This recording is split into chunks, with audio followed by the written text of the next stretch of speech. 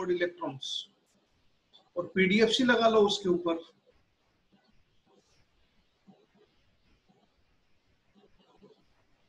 अगर किसी, देखो मॉलिक्यूल में तो अगर न्यूट्रल मॉलिक्यूल है होमोडाइटोमिक है तो होगा नहीं उसमें तो।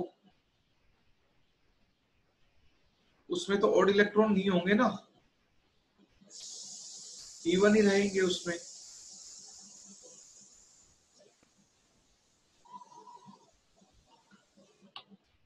लेकिन कोई आयन है या हेट्रोडाइटोमिक मॉलिक्यूल है तो possibilities do arise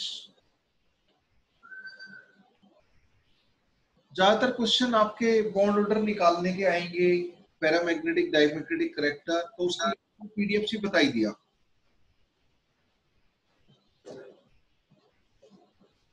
carbon monoxide के लिए electronic sigma star two S को पाई और पाई स्टार के बीच में उठाकर लिख दो। लिखो, shapes of molecular orbitals VBT बोलती है कि हमें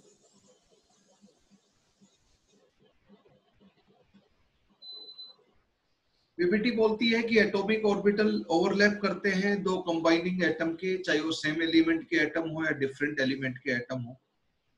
और ओवरलैप करने के बाद ओवरलैप करने के बाद हम लोग रिकॉर्डिंग स्टार्ट हो गई।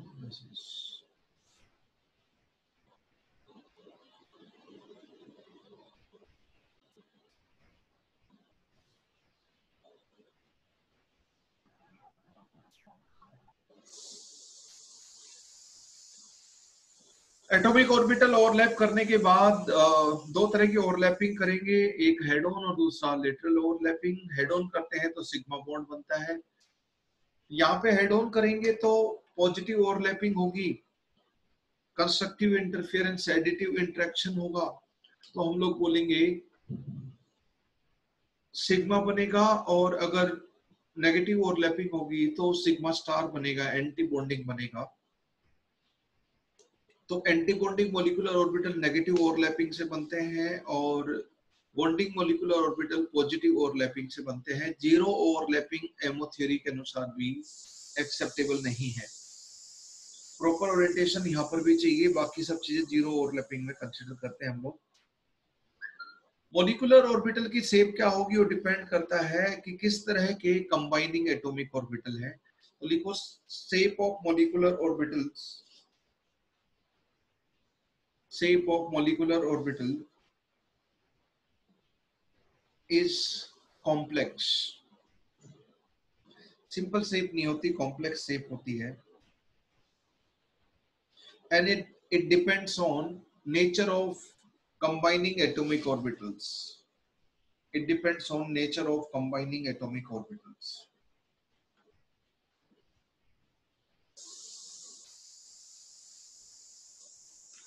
देखो, हमें कौन सा चाहिए? Sigma one S sigma star one S sigma two S sigma star two S तो यहाँ तो एस एस की ओवरलैपिंग हो रही है। Sigma one S sigma one S कब बनेगा? जब दो एटम के one S one S orbital overlap करेंगे। कंस्ट्रक्टिव इंटरफेरेंस से।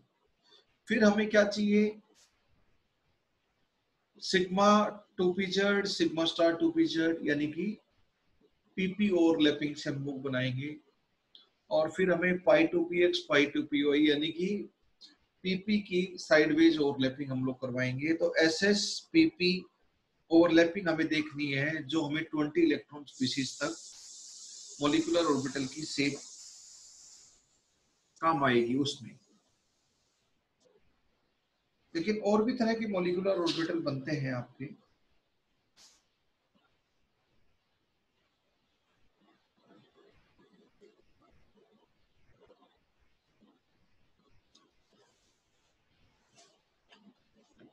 हम सबसे पहले एस ऑर्बिटल और S orbital S S overlapping की बात करते हैं।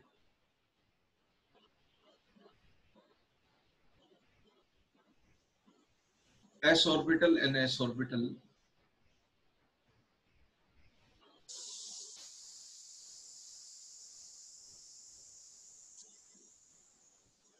spherical in shape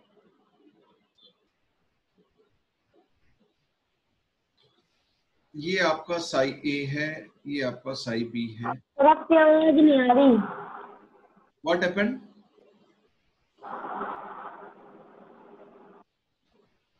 क्या हो गया बच्चों? सर आवाज़ कम आ रही है आपकी। अच्छा कम है क्या? सर आपकी आवाज़ नहीं आ रही। नहीं आ रही है कम आ रही है? सर आपकी आवाज़ नहीं आ रही। सर कम आ रही है। सर कम आ रही है। ओके फाइन अभी ठीक है? सर आपकी आवाज़ नहीं आ रही। अभी अभी ठीक है कि नहीं है? सर आपकी आवाज़ नहीं आ रही। अभी भी अभी भी नहीं आ रही क्या? आ रही है सर।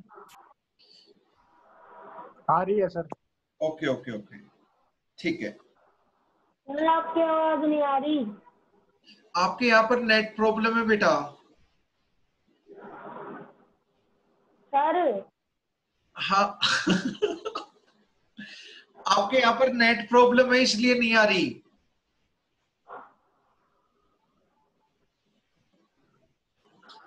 शुभम अभी भी आवाज़ नहीं आ रही आपको?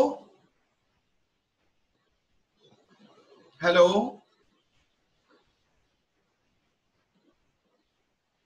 हेलो। बाकी बच्चों को आवाज़ आ रही है ना? Yes sir yes sir okay fine fine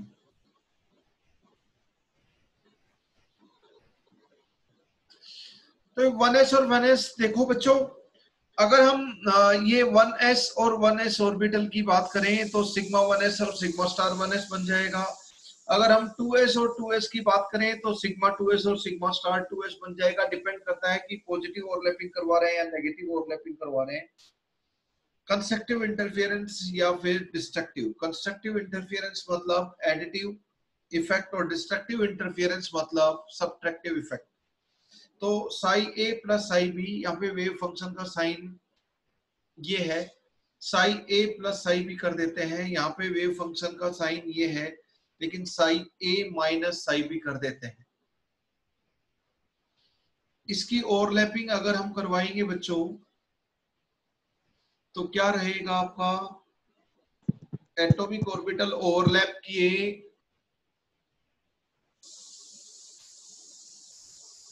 जहाँ पर ये क्या है? कंस्ट्रक्टिव इंटरफेरेंस है। जहाँ पर ओवरलैपिंग हुई, वहाँ पर इलेक्ट्रॉन क्लाउड बढ़ जाएगा, दूसरे साइड से इलेक्ट्रॉन क्लाउड वहाँ पर खिंचा चला आएगा। यही है आपका कंस्ट्रक्टिव इंटरफेरेंस ये constructive interference positive overlapping destructive interference मतलब नेगेटिव ओवरलैपिंग हो गया यहाँ पर अगर हम बात करें तो इसका यहाँ तक तो वीबीटी ने बता दिया था। Sigma bond head on overlapping ये इंटर दो न्यूक्लियाई को मिलाएँगे तो इंटर न्यूक्लियर एक्सिस बन जाएगी ये। लेकिन इससे मैं मोलिकुलर ऑर्बिटल अब एमओ थ्योरी क्या बोलती है कि ओवरलैपिंग के बाद एटॉमिक ऑर्बिटल चुमंतर होकर नए मोलिकुलर ऑर्बिटल बनते हैं। तो यहाँ पे इलेक्ट्रॉन क्लाउड बढ़ जाएगा और इस साइड से इलेक्ट्रॉन क्लाउड खींच के इस साइड आ जाएगा जहाँ पे ओवरलैपिंग है, क्योंकि कंस्ट्रक्टिव इंटरफेरेंस हो रहा है। तो आपका इलेक्ट्रॉन क्लाउड दो न्यूक्लियाई इधर हैं तो आपका इलेक्ट्रॉन क्लाउड है, वो बीचों बीच इंक्रीज हो जाएगा। That will increase in between तो मेजर इलेक्ट्रॉन क्लाउड रहेगा वो इस तरफ़ और यहाँ से इलेक्ट्रॉन क्लाउड कम हो जाएगा। तो ये बन गया सिग्मा वन एस। अगर ये टू एस होता, ये भी टू एस होता तो ये सिग्मा टू एस हो जाता। Electron cloud, positive positive. ये बिल्कुल थोड़ा सिमेट्रिक सा बना लेना।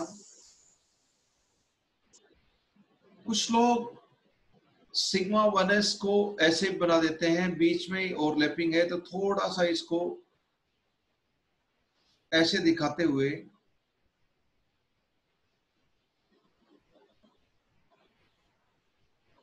Sigma one S.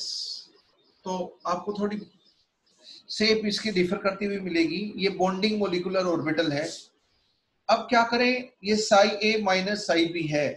Destructive interference ये कंस्ट्रक्टिव एडिटिव ये psi A minus psi B है। तो इसको क्या करो? इसको सोचने का दूसरा तरीका।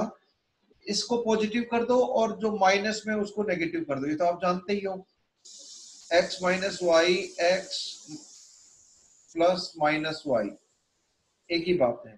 तो उसी स्टाइल मैथमेटिकली करो आप। तो इसको मैं यहाँ पे प्लस कर दूँ और यहाँ पे माइनस कर दूँ, बात बराबर है। तो यहाँ पर बच्चों, जैसे ही ओवरलैपिंग होगी, ये डिस्ट्रक्टिव इंटरफियरेंस है।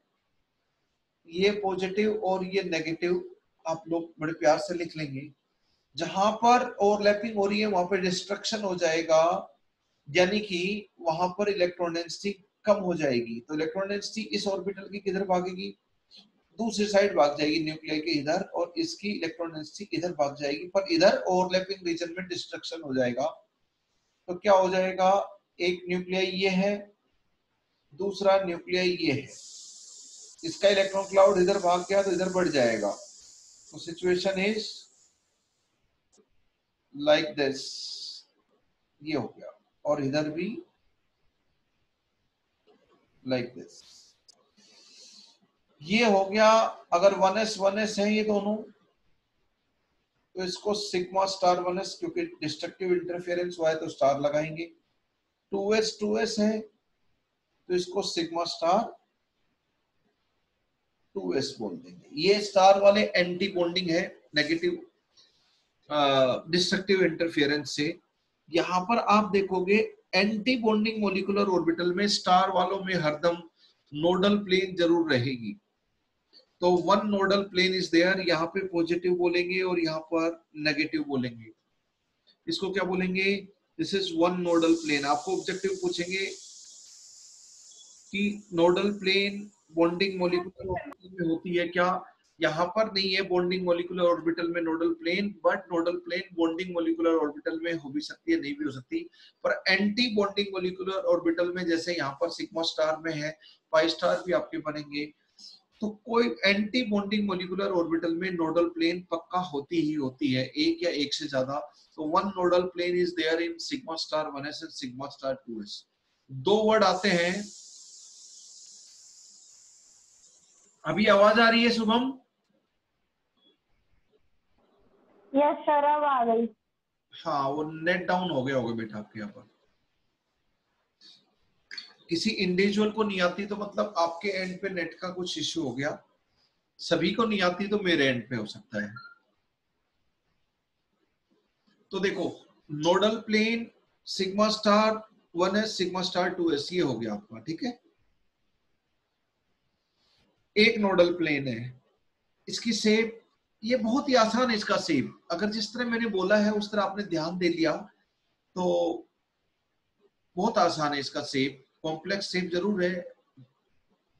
ये तो स्पेरिकल है, लेकिन ये स्पेरिकल है नहीं. This is not this is not spherical तो इलेक्ट्रॉन क्लाउड इधर बढ़ जाएगा. This is these are molecular orbital sigma one S ये सिग्मा स्टार वन एस ये मोलिकुलर ऑर्बिटल है. ये मोलिकुलर ऑर्बिटल की शेप है, ये molecular orbital gerade and ungerade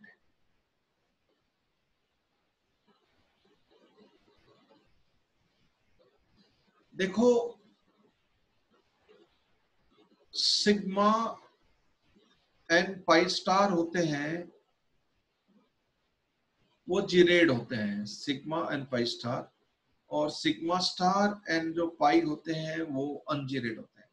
symmetric symmetric मतलब ये पूरा इलेक्ट्रॉन क्लाउड है इधर. This is the electron cloud molecular orbital का. ये इस न्यूक्लियाई के से भी अट्रैक्टेड है इलेक्ट्रॉन क्लाउड इससे. क्योंकि मॉलिक्यूल में अब एक ही ऑर्बिटल बन गया जिसको मोलिकुलर ऑर्बिटल बन रहे हैं overlapping of two atomic orbital से. एक बॉन्डिंग वाला और दूसरा एंटी बॉन्डिंग वाला. ये हो गया बॉन्डिंग मोलिकुलर ऑर्बिटल जिसमें नोडल प्लेन नहीं है. ये एंटी बॉन्डिंग मोलिकुलर ऑर्बिटल जिसमें नोडल प्लेन एक है सिग्मा स्टार अब देखो अगर मैं यहाँ पर बोलूँ तो बताओ, इसके बिल्कुल सेंटर से इधर चलो एक्स डिस्टेंस और इधर चलो एक्स डिस्टेंस बिल्कुल इसका शेप ऐसे है कि आपको लग रहा है कि यहाँ दोनों तरफ़ इक्वल डिस्टेंस पे एक जैसी सिचुएशन है। इधर भी चलो, इधर भी चलो तो सेम दोनों न्यूक्लियर पड़ेंगे। बिल्कुल सिमेट्रिक है दोनों न्यूक्लियाई के रिस्पेक्ट में। दोनों न्यूक्लियाई के रिस्पेक्ट में बड़ा सिमेट्रिक ठीक है? दोनों न्यूक्लियाई के रिस्पेक्ट में सिमेट्रिक अब इधर चले तो जितना डिस्टेंस यहाँ तक इलेक्ट्रॉन क्लाउड है, उतना ही डिस्टेंस तो ये क्या हो गया? ये तो जिरेड हो गया। क्या हो गया? जिरेड हो गया ये। सिमेट्रिक है। लेकिन इधर बात करें, इसको बीचों बीच सेंटर पे एक पॉइंट लो। इधर चले तो नेगेटिव लेकिन इधर चले तो positive sign of wave function हो गया। तो सिमेट्री नहीं है। इधर चले तो नेगेटिव इधर चले तो पॉजिटिव तो ये बोलेंगे, ये आपका अनजिरेड है। अनजिरेड है, ये जिरेड है। तो सिमेट्रिक और अनसिमेट्रिक ये जिरेड अनजिरेड दो वर्ड यूज़ कर लेते हैं सिमेट्रिक अनसिमेट्रिक के लिए। तो बीचों बीच एक मोलिकुलर ऑर्बिटल मल्टी सेंट्रिक होता है, यानी कि मल्टीपल न्यूक्लियाई के इन्फ्लुएंस में इलेक्ट्रॉन क्लाउड होता है। ये एटॉमिक ऑर्बिटल है तो एक ही न्यूक्लियस के इन्फ्लुएंस में इलेक्ट्रॉन क्लाउड है एटॉमिक ऑर्बिटल में। एक ही एटम का न्यूक्लियस होगा मॉलिक्यूल में कई न्यूक्लियाई होते हैं। तो मॉलिकुलर ऑर्बिटल में electron cloud is under the influence of multiple centres multiple nuclei ये आपका नोडल प्लेन हो गया. This is your nodal plane थोड़ा ज़्यादा बन गया, उस ऑर्बिटल को टच नहीं करना. ये नोडल प्लेन हो गया. ठीक है? तो कंस्ट्रक्टिव इंटरफेरेंस बॉन्डिंग बनाता है और डिस्ट्रक्टिव इंटरफेरेंस यानी कि subtractive effect anti bonding molecular orbital बनाता है. एज सिंपल एज दैट अब हम पाई की बात करते हैं। हमने z axis inter nuclear axis मान ली। If z axis is inter nuclear axis तो हमें पता है पीजेड पीजेड की ओवरलैपिंग से हेड ऑन होगी सिग्मा बनेगा। और तो पी एक्स पी एक्स से and P Y P Y से पक्का पाई बनेगा।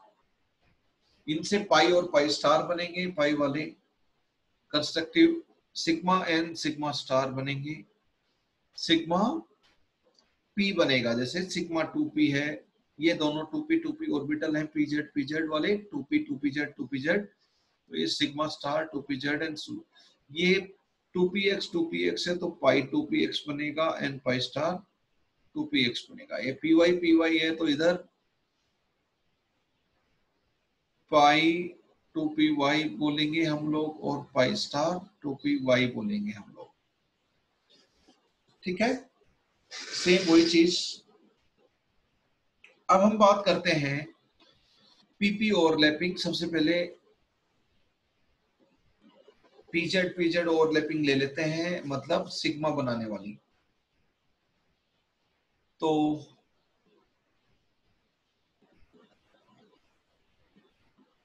पीजेड पीजेड ओवरलैपिंग लेंगे तो दोनों पीजेड पीजेड आपस में मान लेते हैं कि ये इंटर न्यूक्लियर एक्सिस है।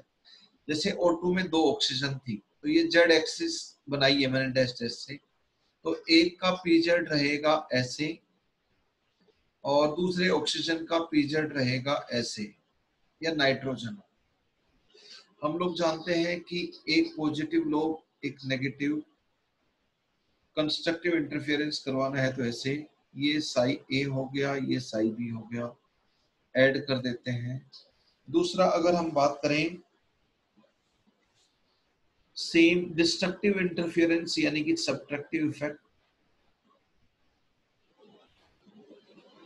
पीजेड पीजेड का ही दो एटॉमिक ऑर्बिटल ओवरलैप करेंगे तो दो मॉलिकुलर ऑर्बिटल बनेंगे। Psi A minus psi B कर देते हैं इस बार इस बार माइनस वही दोनों साई ए, साई बी है, लेकिन वहाँ ऊपर कंस्ट्रक्टिव इंटरफेरेंस और नीचे डिस्ट्रक्टिव इंटरफेरेंस इस साइन को आप हटाकर इधर, इनके साइन अपोजिट कर दो जो माइनस वाला है।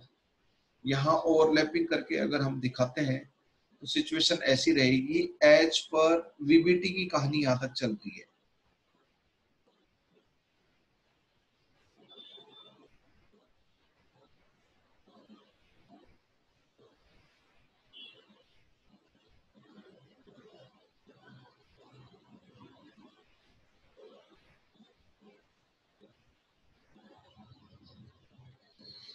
अब क्या देखा हमने कि यहाँ पे कंस्ट्रक्टिव इंटरफेरेंस हो रहा है तो यहाँ पे इलेक्ट्रॉन क्लाउड बढ़ेगा। तो इस पी ऑर्बिटल में इधर कंस्ट्रक्टिव इंटरफेरेंस हो रहा है तो इधर से इलेक्ट्रॉन क्लाउड खींच इधर आ जाएगा।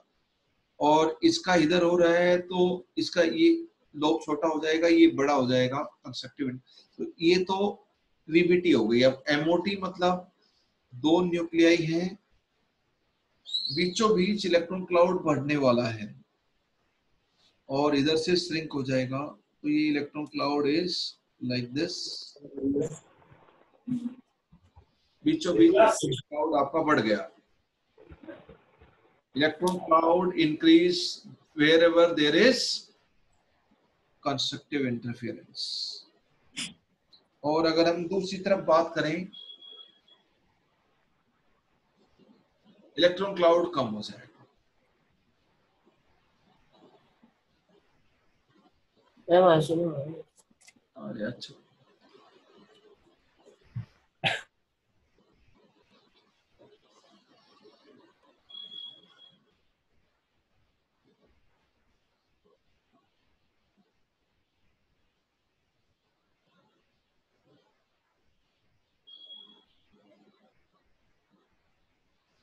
ये है नेगेटिव पॉजिटिव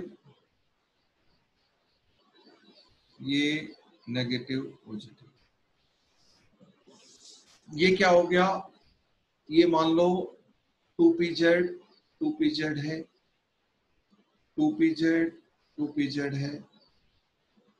तो ये सिक, आ, सिग्मा बनेगा ना क्योंकि हेड ऑन ओवरलैपिंग हुई है। तो ये सिग्मा टू पी जेड कहलाएगा। कंस्ट्रक्टिव इंटरफेरेंस तो सिग्मा यहाँ पर अगर मैं बात करूँ तो डिस्ट्रक्टिव इंटरफेरेंस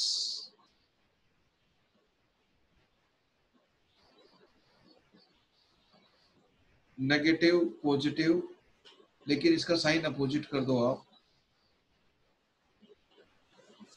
यहाँ पे क्या करेंगे? यहाँ पे डिस्ट्रक्शन हो जाएगा तो इलेक्ट्रॉन क्लाउड इस वाले लोब में भाग जाएगा इसके इस वाले लोब में भाग जाएगा पॉजिटिव वाले में।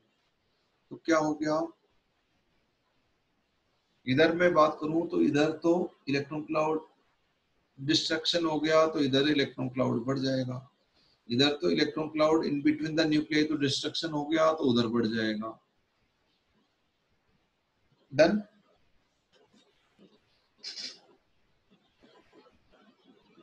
ये हो गया sigma star two P Z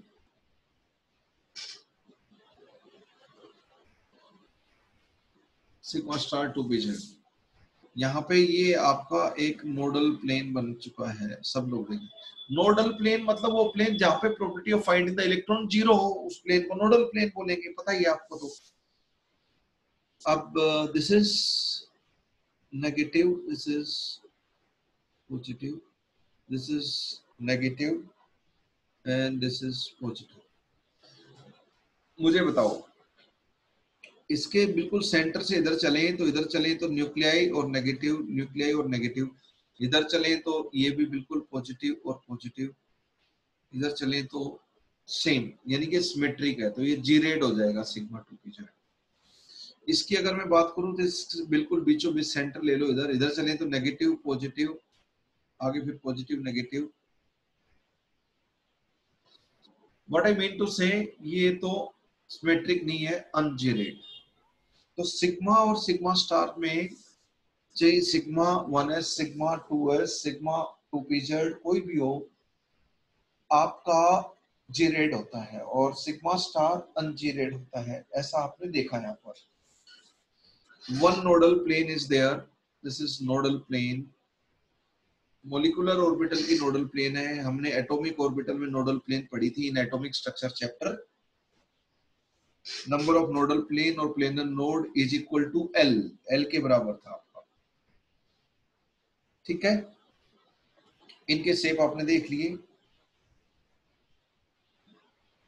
आपको पूछेंगे what is the number of nodal planes present in sigma two P Z and sigma star two P Z तो ऊपर वाले में तो नहीं है, लेकिन सिग्मा स्टार में एक नोडल प्लेन है।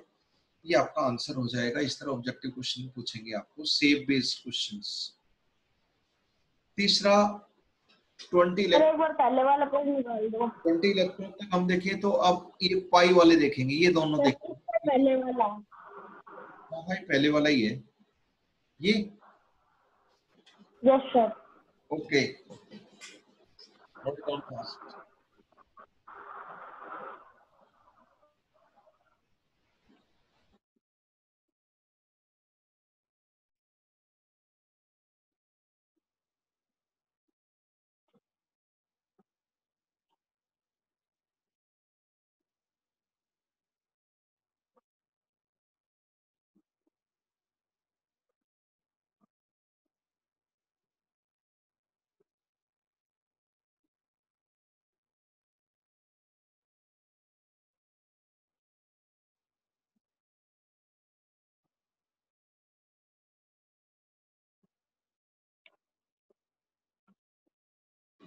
Done? Yes sir अब हम P X P X and P Y P Y से बॉन्डिंग मॉलिकुलर और एंटी बॉन्डिंग मॉलिकुलर ऑर्बिटल बनाएँगे पाई एंड पाई स्टार बनाएँगे तो देखो मान लीजिए ये एक्स एक्सिस है परपेंडिकुलर टू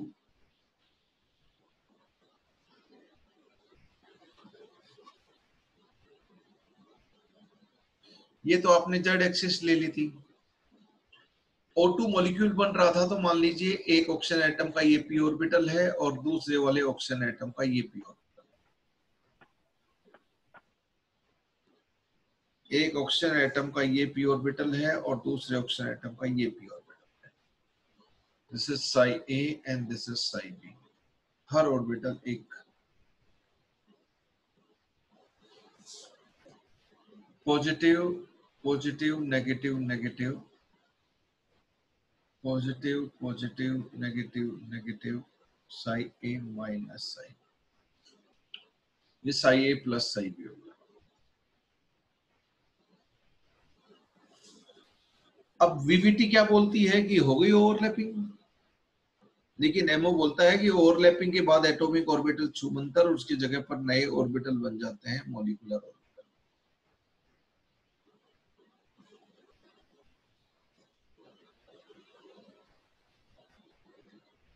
आप बिल्कुल सिमेट्रिक बना लेना सुंदर तरीके से। पॉजिटिव पॉजिटिव नेगेटिव नेगेटिव दोनों के न्यूक्लियाई इधर है। जेड एक्सिस के लॉन्ग है, क्योंकि inter nuclear axis Z axis है तो सारे न्यूक्लियाई, दोनों की दोनों न्यूक्लियाई डायटोमिक मॉलिक्यूल में जेड एक्सिस के लॉन्ग इस नेगेटिव को आप इन्वॉल्व करो तो इनका साइन चेंज हो जाएगा, या नेगेटिव और यहाँ पॉजिटिव, और पॉजिटिव नेगेटिव सोचने के लिए। तो ये डिस्ट्रक्टिव इंटरफेरेंस हो गया, ऊपर वाला कंस्ट्रक्टिव इंटरफेरेंस हो गया। एडिटिव इफ़ेक्ट, ये सब्ट्रैक्टिव इफ़ेक्ट।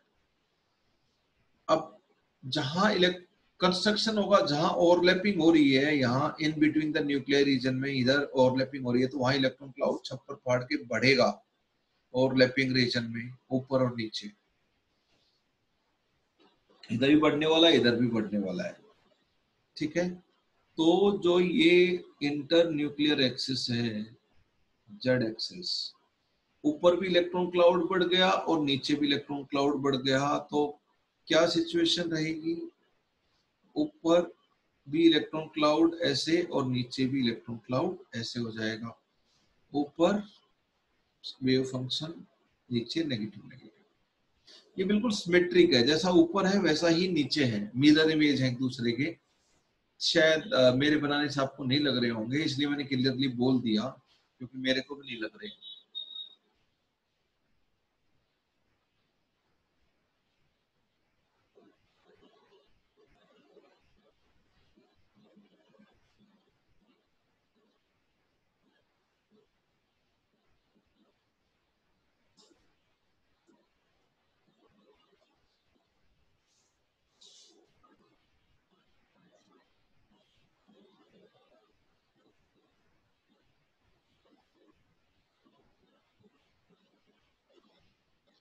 ठीक है? ये तो बन गया आपका पाई टू पी, मान लो ये टू पी वाई और टू पी वाई है तो ये हो जाएगा पाई टू पी वाई। लेकिन यहाँ पे ओवरलैपिंग हुई, वहाँ तो डिस्ट्रक्शन हो रहा है तो यहाँ इलेक्ट्रॉन क्लाउड छुमंतर हो जाएगा। यहाँ इलेक्ट्रॉन क्लाउड छुमंतर हो जाएगा।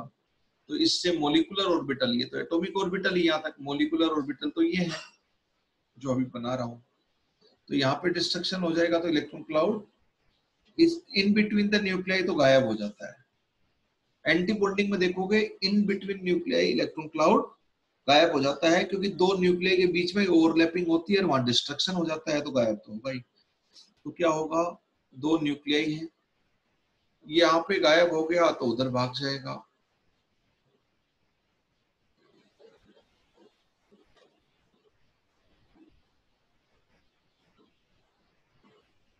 पॉजिटिव नेगेटिव नेगेटिव पॉजिटिव आप देख सकते हो, इधर से आप थोड़ा गैप भी बना सकते हो, क्योंकि इधर भी एक नोडल प्लेन होती है और इधर भी एक नोडल प्लेन साफ़ साफ़ दिखाई दे रहा है। ये हो गया pi star two P Y मान लीजिए ये टू पी जेड है। मान लीजिए ये टू पी जेड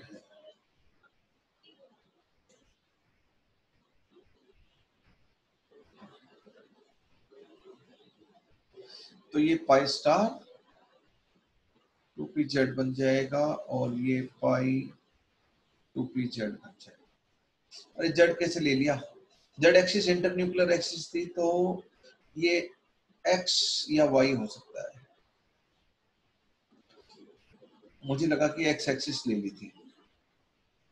वो तो आप जिस हिसाब से लोगे, उस हिसाब से जो एक्सिस लोगे, वो सिग्मा बना लेगा और बचे हुए दो पी ऑर्बिटल पाई बना लेंगे। नोडल प्लेन यहाँ पर भी देखो एक नोडल प्लेन है तो क्या समझ में आया? कि ये तो बॉन्डिंग मोलिकुलर ऑर्बिटल है कंस्ट्रक्टिव इंटरफेरेंस ये एंटी बॉन्डिंग है। तो आपका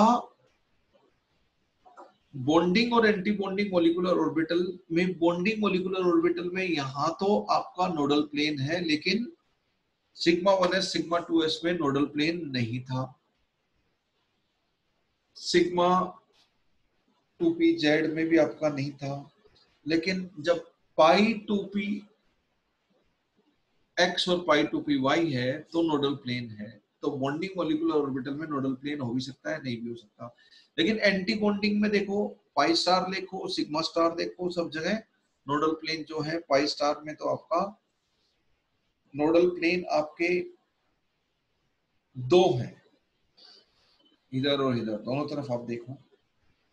और अगर आप सिग्मा स्टार की बात करो तो एक नोडल प्लेन था आपका। सिग्मा स्टार की बात करो तो एक नोडल प्लेन था फाइव स्टार में दो नोडल प्लेन हो गए। These are shape of different molecular orbitals that we come across.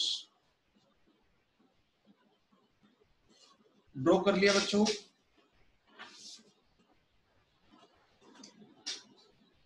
Yes or no? Yes, sir. Yes, sir. मैं आपको अब कुछ पॉइंट लिखवाऊँगा अबाउट बॉन्डिंग मोलिकुलर ऑर्बिटल जल्दी जल्दी लिख लो समझने का काम सब हो चुका है सिग्मा पाई जो भी है लिखो first point It is formed by constructive interference of electron waves. Constructive interference यानी कि additive effect. It is formed by constructive interference of electron waves. It is formed by constructive interference of electron waves. Second, it has lower energy and more stability compare to atomic orbitals ये point हम already लिख चुके हैं वैसे पर BMO के बारे में पॉइंट जो भी ऑब्जेक्टिव में जाते हैं it has lower energy and more stability compare to combining atomic orbitals सभी जगह अगर आप नज़र मार के देखो सिग्मा और पाई वाले, यानी कि बिना स्टार वाले बॉन्डिंग थे। तो बीएमओ पे नज़र मार के देखो तो आपने हरदम देखा कि in between the electron in between the nuclei electron cloud बढ़ गया है आपका। इलेक्ट्रॉन की डेंसिटी बढ़ गई है दूसरी तरफ़ कम हो गई है। तो लिखो third it increases electron density in the region between the two nuclei diatomic molecule के टू न्यूक्लियाई के बीच में इलेक्ट्रॉन डेंसिटी बढ़ाते हैं। It increases the electron density in the region between the two nuclei in the region between two nuclei due to which stability increases. Due to which stability increases. Next point, electron present in BMO leads to attraction. Leads to attraction, hence more stability. Last point it may or may not have node or nodal plane may or may not have nodal plane सब point हम discuss कर चुके हैं next ABMO के बारे में लिखो anti bonding molecular orbital सब हम जानते हैं बस लिखना है ABM लिखो it is found by destructive interference bracket में subtractive effect destructive interference bracket में subtractive effect of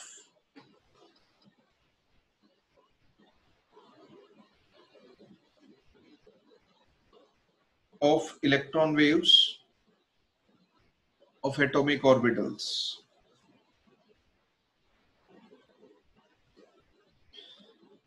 Next point, it has more energy and less stability as compared to combining atomic orbital.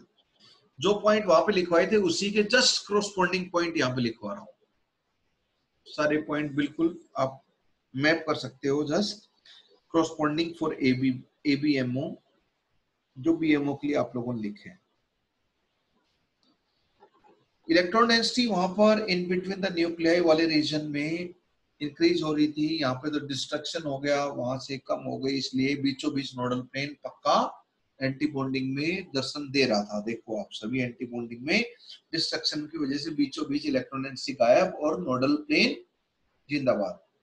देखो electron density in the region between two nuclei electron density in the region between two nuclei decreases, which is responsible for less stability, which is responsible for less stability. अगर electron BMO में present है तो stability बढ़ाते हैं attraction बढ़ाते हैं लेकिन ABMO में तो रिपल्सिव देखो electron present in ABMO leads to increase repulsion sigma star हो या पाई स्टार हो सब में नोडल प्लेन ज़रूर था। ये लास्ट पॉइंट रिपीट करो electron present in ABMO leads to repulsion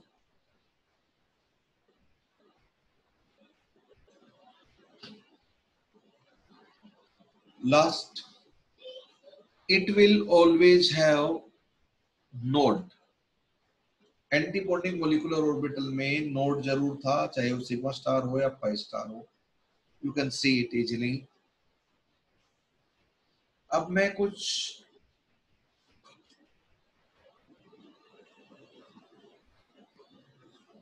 atomic orbital और मोलिकुलर ऑर्बिटल, एटॉमिक ऑर्बिटल पहले पढ़ चुके हो। मोलिकुलर ऑर्बिटल अभी पढ़ चुके हो एम थ्री में, एटॉमिक ऑर्बिटल तो पहले पढ़ चुके हो एटॉमिक स्ट्रक्चर में। उन दोनों में डिफरेंस बताता बताओ, यहाँ पे एक ही न्यूक्लियस के इन्फ्लुएंस में होता है पूरा एटॉमिक ऑर्बिटल का इलेक्ट्रॉन क्लाउड तो ये मोनोसेंट्रिक हो गया। डायटोमिक मॉलिक्यूल है तो दो न्यूक्लियाई में होगा, या पॉलीएटॉमिक मॉलिक्यूल है तो polycentric atomic orbital monocentric होता है और मोलिकुलर ऑर्बिटल पॉलीसेंट्रिक वेरी जी सबको पता है। एटॉमिक ऑर्बिटल के कंपैरिजन में मोलिकुलर ऑर्बिटल ज़्यादा स्टेबल होता है। Reason being electron cloud is now attracted by more than one nuclei यही तो चक्कर होता है रेजोनेंस में। एक न्यूक्लियस से अट्रैक्ट होने की बजाय कई न्यूक्लियस से अट्रैक्ट होता है। ओवरऑल अट्रैक्शन बढ़ जाता है और स्टेबिलिटी बढ़ जाती है। तो comparatively less stable but molecular orbital में कंपेरेटिवली मोर स्टेबल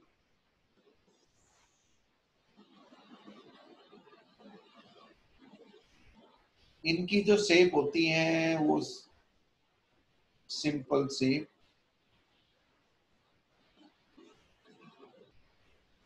और उनकी सेप काफ़ी कॉम्प्लेक्स है। अभी अभी देखिए आपने सारी शेप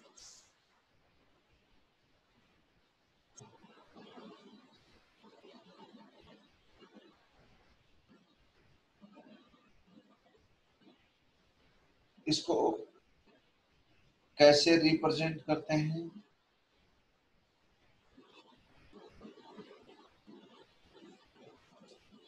इसको हम कैसे रिप्रेजेंट करते हैं?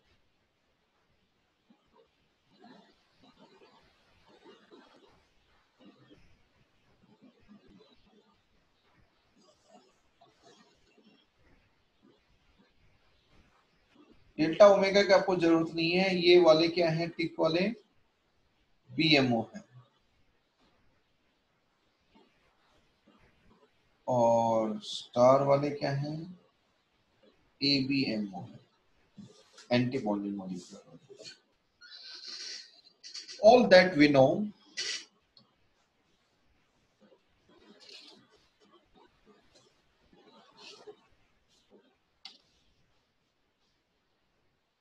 बाकी जिस तरह के क्वेश्चन बनते हैं, उस तरह के क्वेश्चन हम ऑलरेडी कर चुके हैं लास्ट और थोड़ी बहुत, मैं बोलूँगा बी टू और सी टू में कितने कितने सिग्मा बॉन्ड होते हैं और बॉन्ड ऑर्डर क्या क्या होता है, बताओ?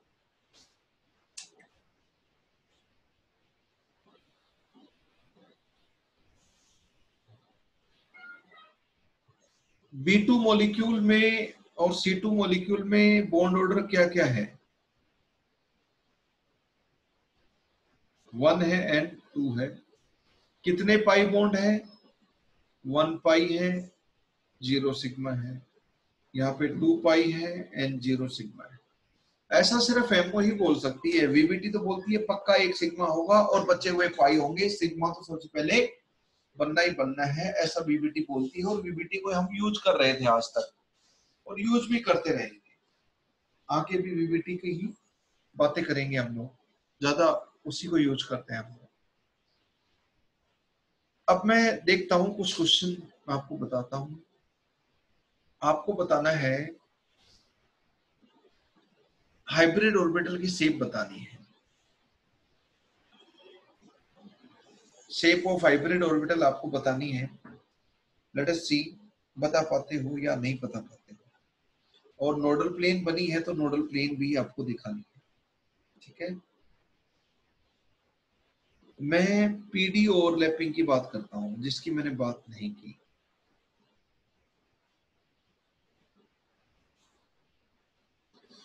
पीडी ओवरलैपिंग में अगर मैं कंस्ट्रक्टिव और डिस्ट्रक्टिव इंटरफेरेंस करूँ तो what are the shape of hybrid orbital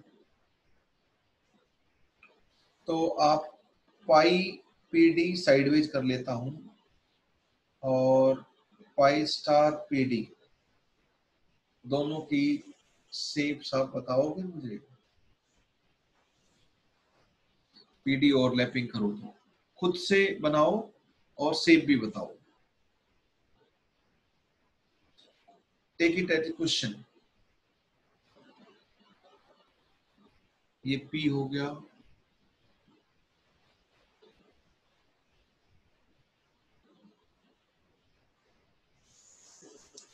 ये डी हो गया। Positive negative positive negative positive negative constructive interference हम लोग कर रहे हैं और साइडवेज ओवरलैपिंग कर रहे हैं और कंस्ट्रक्टिव इंटरफियरेंस सी आई मतलब कंस्ट्रक्टिव इंटरफियरेंस और साइडवेज तो पाई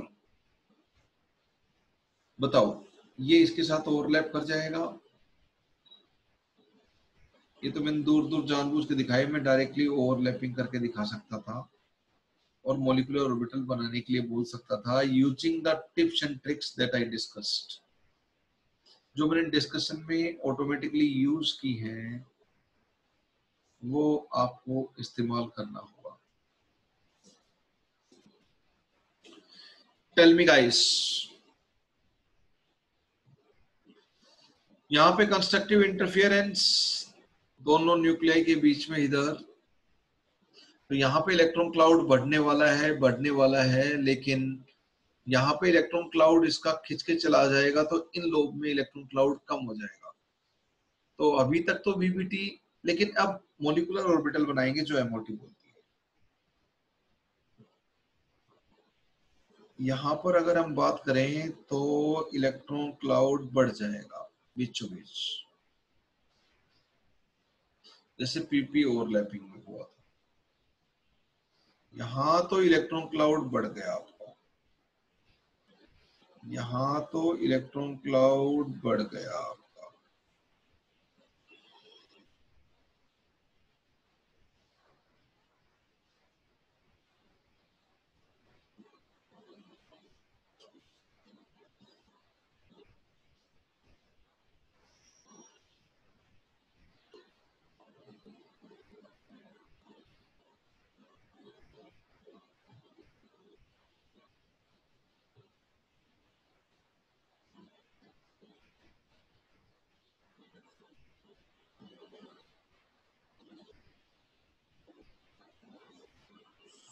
बिल्कुल सिमेट्रिक टाइप बनाना।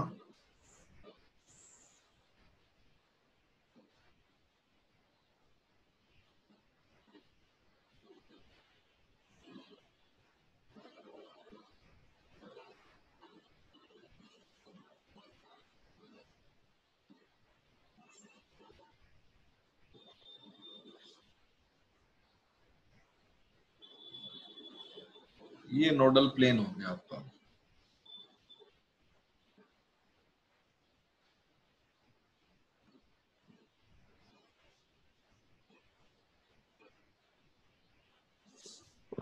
क्या हो जाएगा? पॉजिटिव पॉजिटिव नेगेटिव नेगेटिव एक बार लिख दो दो बार पॉजिटिव पॉजिटिव लिखने की ज़रूरत नहीं है। अरे साइन के चक्कर में ना। पूरा लिख देते यहाँ पे ये लोग था आपका नेगेटिव और ये लोग था आपका पॉजिटिव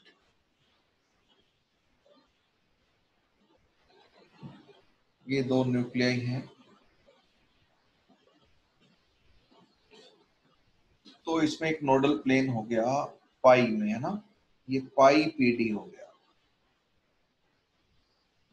मैं यहीं पे चेंज करूँगा पाई स्टार पीडी आपको बनाना है। मैं यहीं पे ऑल्ट्रेशन कर देता हूँ।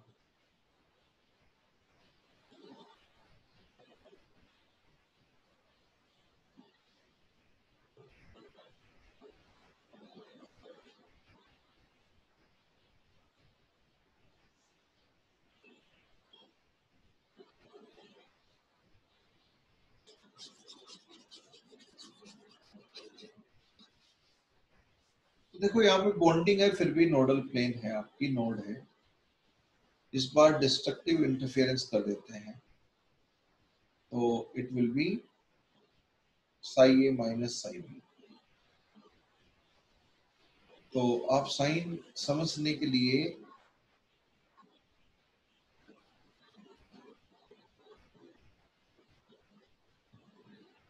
अपोजिट कर दें फास्टली तो ये या स्टार्टिंग से इसको प्लस रखें और इनको साइन को अपोजिट कर दें। यहाँ पॉजिटिव था तो आप बिगनिंग से यहाँ प्लस कर लें और यहाँ नेगेटिव और यहाँ पॉजिटिव तो अपने आप नेगेटिव ओवरलैपिंग हो गई। इसमें कोई दो राय है ही नहीं। अपने आप नेगेटिव ओवरलैपिंग हो गई डिस्ट्रक्टिव इंटरफेरेंस अपने आप साफ़ साफ़ दिखाई दे रहा है। अब यहाँ तो जहाँ ओवरलैपिंग हो रही है, वहाँ तो इलेक्ट्रॉन क्लाउड भाग जाएगा।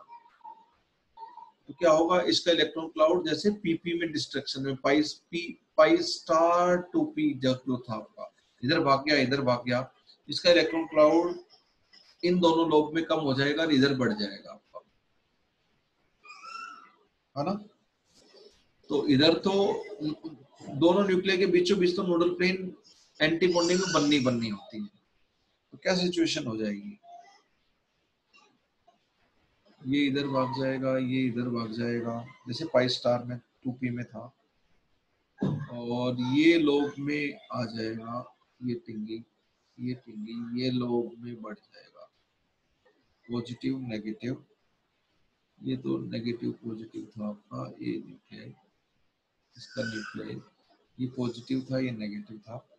यहाँ तो नोडल प्लेन आनी ही आनी है और यहाँ पर भी नोडल प्लेन है आपकी। तो दो नोडल प्लेन हो गई यहाँ पर। टू नोडल प्लेन्स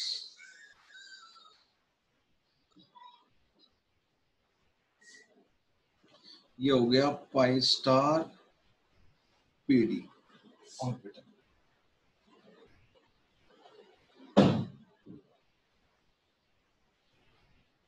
done बच्चों काम नहीं आएगा आपको लास्ट पेज निकाल दो। ये ये आपको 20 इलेक्ट्रॉन तक कोई काम नहीं आने वाले। PD overlapping and DD overlapping are of no use but just मैं आपको कोई पूछना चाहे अच्छे लेवल के क्वेश्चंस में तो ये इन्वॉल्व कर सकता है। आपको बेसिक थॉट प्रोसेस जनरेट हो गई तो यू कैन थिंक और शेप ऑफ़ मॉलिक्यूलर ऑर्बिटल को ऑप्शंस में टिक मार्क कर सकते हो। Should I rub this okay move to next बस लास्ट एक आ, दो ले लेता हूँ मैं। जल्दी से अगर आप बता दो तो। मैं डायरेक्टली ओवरलैप सिस्टम दिखा देता हूँ। ये सिमेट्रिक बना लेना बिल्कुल।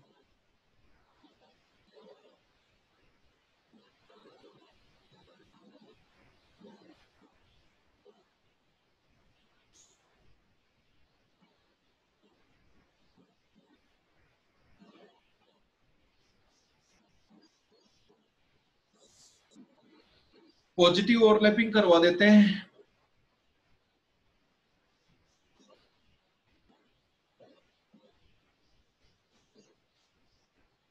तो ये कंस्ट्रक्टिव इंटरफेरेंस हो गया और साइडवेज है तो पाई तो बोलेंगे बोलेंगे कंस्ट्रक्टिव इंटरफेरेंस बताओ इसका सेप बताओ। ये पाई डी डी बन जाएगा आपका। What is the shape of this यहाँ इलेक्ट्रॉन क्लाउड बढ़ने वाला है, यहाँ बढ़ने वाला है, यहाँ बढ़ेगा तो इस डी ऑर्बिटल का इन लोग में कम होके उधर चला जाएगा, इस डी ऑर्बिटल का भी इस लोब से कम होके इधर चला जाएगा। वेरी सिंपल इलेक्ट्रॉन क्लाउड इधर तो और बीचों बीच तो इधर तो जस्ट लाइक like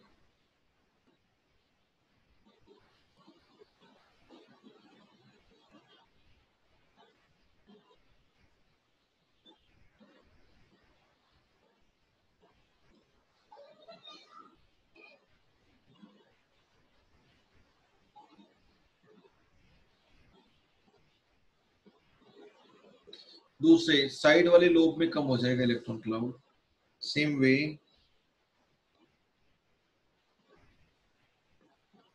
इधर इलेक्ट्रॉन क्लाउड बढ़ जाएगा.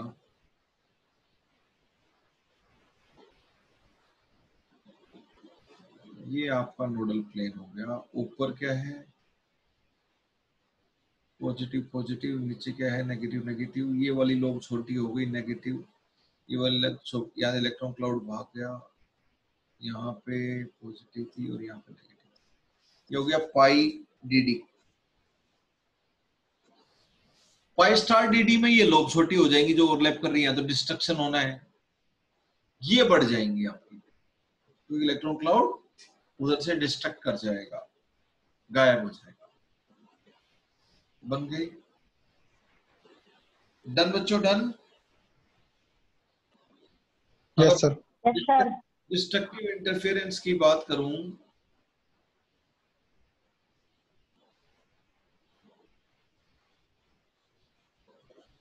तो ये नेगेटिव ये पॉजिटिव पॉजिटिव और नेगेटिव ये हो गया डिस्ट्रक्टिव इंटरफियरेंस इस बार एंटी बॉन्डिंग बनेगा। कोई बच्चा बना सकता है? Shape of pi star PD अभी तक तो आइडिया पड़ गया होगा कैसे सेप ऑफ़ मॉलिकुलर ऑर्बिटल बनाते हैं। पाई स्टार में बीचों बीच एक तो राम नाम का नोडल प्लेन होता ही होता है। दोनों न्यूक्लियाई के बीचों बीच इलेक्ट्रॉन क्लाउड गायब हो जाता है और दोनों आपस में खूब लड़ाई करते हैं।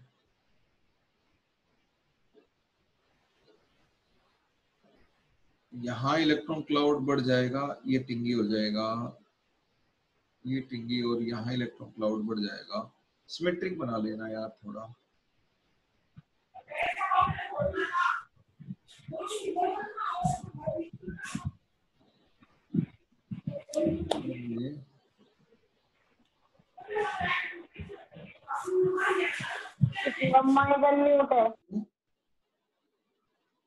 ये। पॉजिटिव था आपका, ये पॉजिटिव था, ये नेगेटिव था।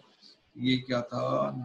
नेगेटिव और पॉजिटिव ये क्या था? पॉजिटिव एंड नेगेटिव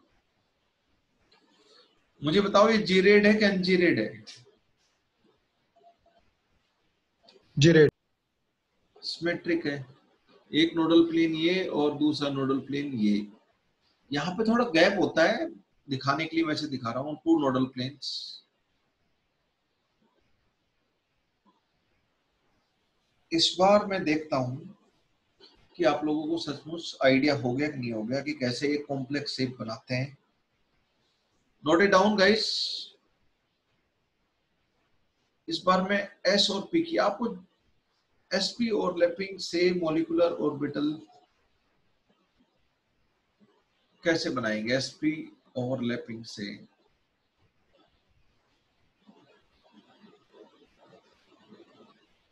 ये एस है और ये आपका पी है कंस्ट्रक्टिव इंटरफेरेंस करवा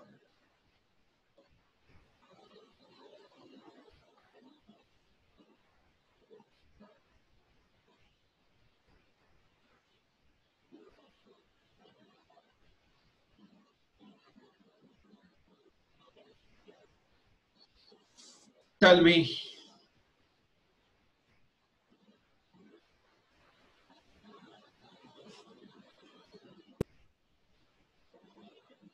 Molecular orbital orbital यहाँ यहाँ वाला है मामला मामला एक बड़ा गोला एक छोटा। यस और ये लोग छुटकू हो जाएगा। ये न्यूक्लियाई है और ये न्यूक्लियाई है। यहाँ तो मामला बढ़ जाएगा ये न्यूक्लियाई। लेकिन यहाँ खिंच जाएगा नेगेटिव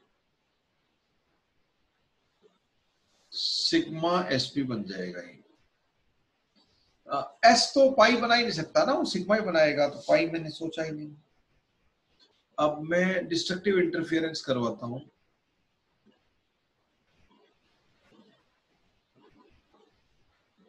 अब बताओ जरा। पहला चुटकू सिग्मा स्टार एसपी का आप सेव बता दीजिए। पहला चुटकू दूसरा। सर इसका अपोजिट हो जाएगा। इसका तो इलेक्ट्रॉन क्लाउड भाग जाएगा इस वाले का तो इधर। और बीचों बीच तो एक नोडल प्लेन बनती ही है।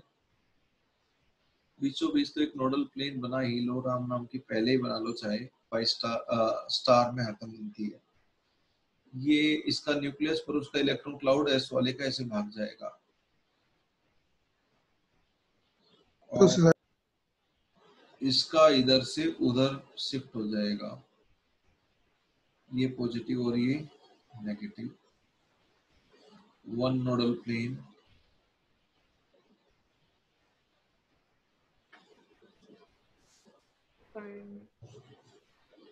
कितना है लेकिन ये नोडल प्लेन के इधर वाला लेफ़्ट वाला कैसे बना?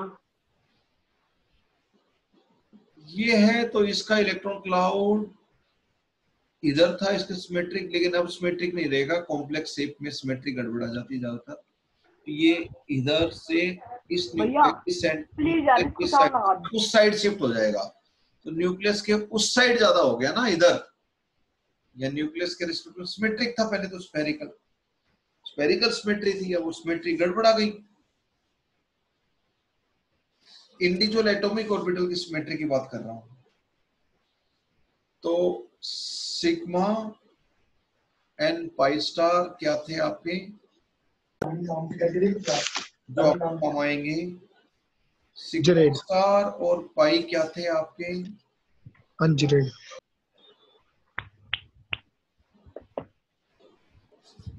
अनजेरेड थे।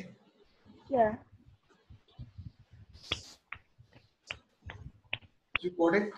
अब देखो आप कई बार ना S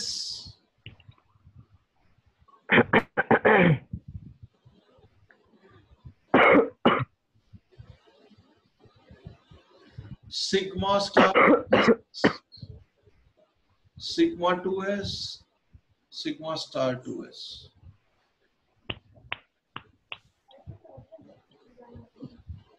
तो मैं कुछ कह रहा हूँ तेरे को। के के वन एस, इसकी जगह के टू एस ऐसे लिख, ऐसे लिखे हुए मिल जाते हैं आपको बार। इसकी जगह पर ये एल हो गया ना एल के सेल तो एल सेल टोका। कुछ साइंटिस्ट लोगों ने ऑब्जेक्शन किया, जब एमओटी बनी, कि बॉन्डिंग में सिर्फ़ वैलेंस सेल के इलेक्ट्रॉन ही मोलिकुलर ऑर्बिटल बना सकते हैं। बाकी इनर सेल के ऑर्बिटल है, वो एटॉमिक ऑर्बिटल फॉर्म में ही रहेंगे। तो जो जैसे कि मान लो कि ये जैसे O2 बना तो ये तो गया ही नहीं आपका, क्योंकि ये तो वैलेंस सेल है नहीं वन सेकेंड वाला वैलेंस सेल है ना टू एस और टू पी वाले वैलेंस सेल है। वन वाले थोड़ी है one S two two S two और टू पी फोर ये था। तो ये जो के और के के के डैश बोल दो इसको चाहे इसका के इसको के डैश बोल दो। एक ऑप्शन का के दूसरे ऑप्शन का के डैश या के के बोल दो। वन एस ये वैसे के वैसे atomic orbital but you are not expected to bother about it इसलिए कुछ बुक में आपने देखा होगा के के डैश यानी कि वो हाइब्रिडाइज वो इंटरमिक्सिंग में इस तरह जाकर मोलिकुलर ऑर्बिटल नहीं बना रहे हैं। इट मीन्स दैट सर, एक बार वापस याद बोलना ये चाहता हूँ कि कुछ साइंटिस्ट ने एमओटी बनी तो एक पॉइंट का ऑब्जेक्शन किया कि जो एमओटी के हिसाब से जो बॉन्डिंग है, वो bonding is valence shell phenomena तो वैलेंस सेल के जो एटॉमिक ऑर्बिटल हैं, वही मोलिकुलर ऑर्बिटल बनाएँगे और मोलिकुलर ऑर्बिटल से बॉन्ड बनेगा number of bonding electron minus number of anti bonding electron divide by two लेकिन जो इनर सेल है, जैसे सेकेंड पीरियड एलिमेंट में वैलेंस सेल तो टू हो गई।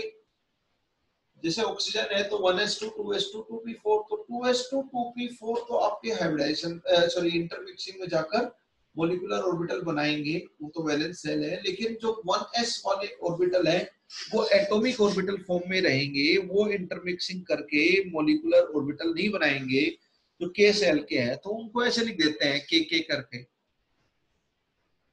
ठीक है? अगर एल टू एस और टू एस वो एल सेल के हैं एल मतलब एन इज़ टू टू तो वो भी नहीं गए अगर अगर वैलेंस सेल थर्ड है तो फिर एल वाले भी नहीं जाएँगे तो उनको एल ही लिखेंगे, उनको sigma sigma star pi pi star लिखने की ज़रूरत नहीं है।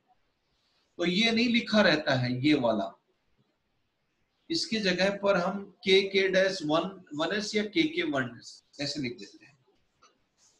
समझ गए? ये छोटी चीज़ है नॉट ए मेजर चीज़। आपको कहीं मिलेगी नहीं, किसी भी कोचिंग मटेरियल में कहीं पे भी ऐसा नहीं लिखा रहता है। When you study lot you find all this things books वगैरह ऑथर लोग इन सब चीज़ों को मेंशन नहीं करते हैं। यस सर ठीक है इसके ऊपर इसलिए कोई क्वेश्चन भी नहीं बने हैं। इसके ऊपर कोई क्वेश्चन भी किसी बुक में I have not seen till now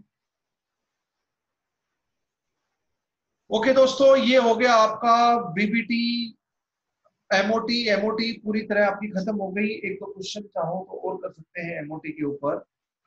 हाँ होमो टू ल्यूमो ट्रांजिशन इसको हम के के डैश वन ठीक है? इसको के के डैश ऐसे भी लिख देते हैं के के डैश टू मतलब टू एस का है। हालाँकि L L dash two S लिखे तो ज़्यादा क्लियर है। दोनों तरीके से आपको लिखा हुआ मिलता है, लिखने का तरीका अलग है।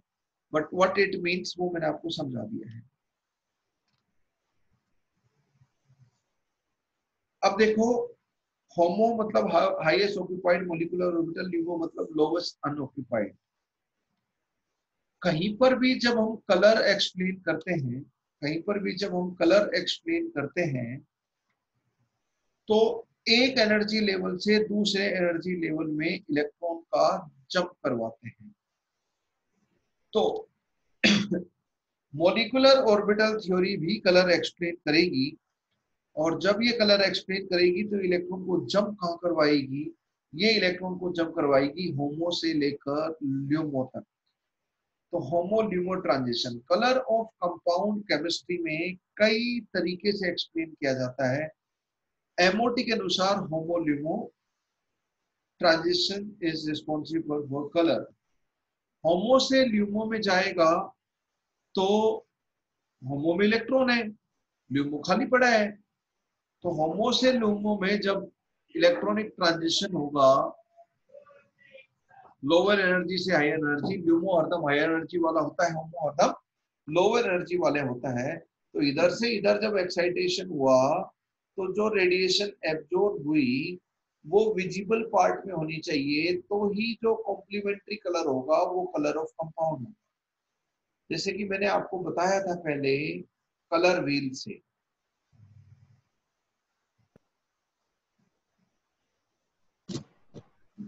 कलर व्हील हमने डिस्कस किया था कभी?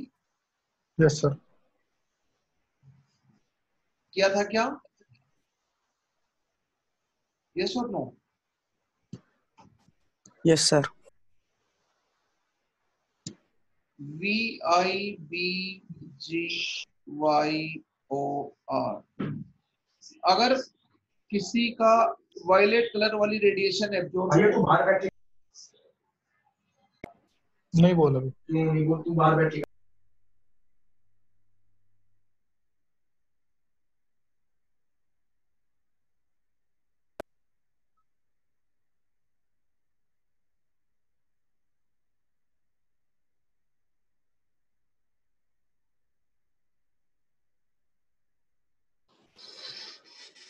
वॉयलेट कलर एब्जॉर्ब होगा तो येलो कलर कॉम्प्लीमेंट्री कलर है। किसी भी कंपाउंड का सब्सटेंस का कलर जो रेडिएशन एब्जॉर्ब करता है एक एनर्जी लेवल से दूसरे एनर्जी लेवल में, उसकी वजह से नहीं होता। उसके अलावा जो एब्जॉर्ब नहीं हुई, जैसे सोलर रेडिएशन गिर रही है, उसमें तो विब्योर वाली सारी विजिबल पार्ट के सारे स्पेक्ट्रम का हिस्सा है, सारी रेडिएशन है। पेड़ की पत्तियों का कलर ग्रीन होता है। क्यों? क्योंकि पेड़ की पत्तियाँ रेड कलर वाली रेडिएशन एब्जॉर्ब करती हैं। अगर रेड और ऑरेंज के बीच वाली रेडिएशन एब्जॉर्ब की तो ब्लू और ग्रीन के बीच में ग्रीनिश ब्लू या ब्लू ग्रीन टाइप का कोई कलर रहेगा। राइट तो कॉम्प्लीमेंट्री तो colour of any compound colour of any compound और किसी सब्सटेंस में जो कंपाउंड है, उस सब्सटेंस की अगर हम बात करें is due to is due to radiation absorb नहीं।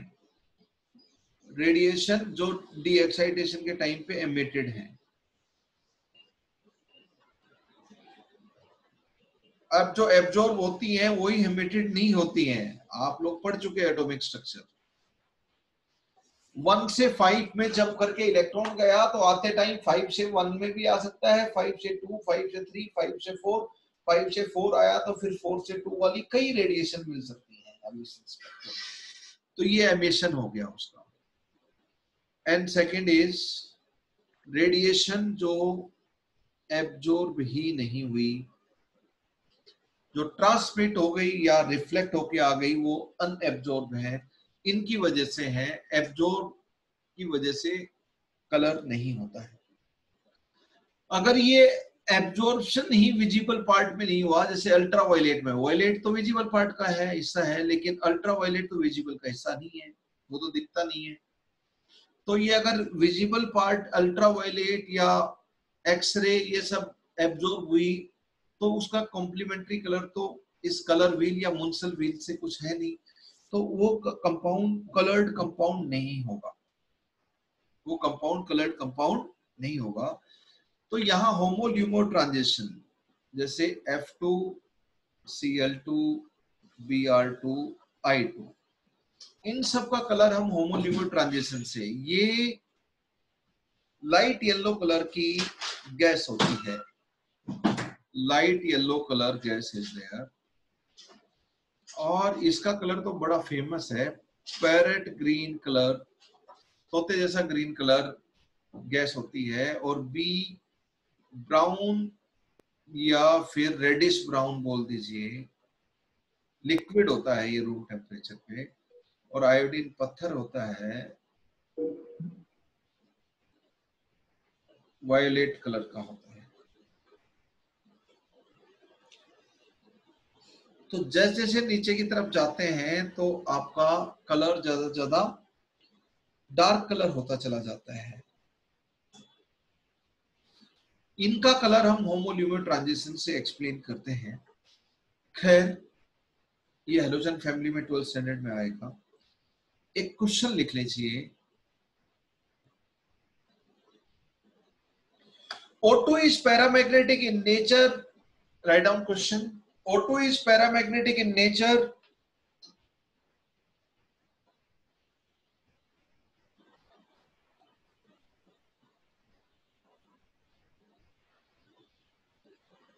but it is colourless सबको पता है O2 पैरामैग्नेटिक है, दो एंटी बॉन्डिंग पाई ऑर्बिटल में दो अनपेड इलेक्ट्रॉन होते हैं। सब लोगों को पता है। O2 माइनस वन में एक अनपेड इलेक्ट्रॉन होगा पाई स्टार में और O2 माइनस टू में डायमैग्नेटिक है ज़ीरो अनपेड इलेक्ट्रॉन होंगे। आप लोग जानते हैं। O2 is paramagnetic in nature but colorless, while F2 is diamagnetic in nature F2 का इलेक्ट्रॉनिक कॉन्फ़िगरेशन लिखो आप, पता चल जाएगा डायमैग्नेटिक है VBT के अनुसार तो डायमैग्नेटिक है ही है। Diamagnetic in nature but it is light yellow in colour explain why. O2 का इलेक्ट्रॉनिक कॉन्फ़िगरेशन अगर आप लिखते हो तो पूरा मामला लिखते चले जाओ। Sigma one S sigma star one S sigma two S sigma star two S sigma two P Z, फिर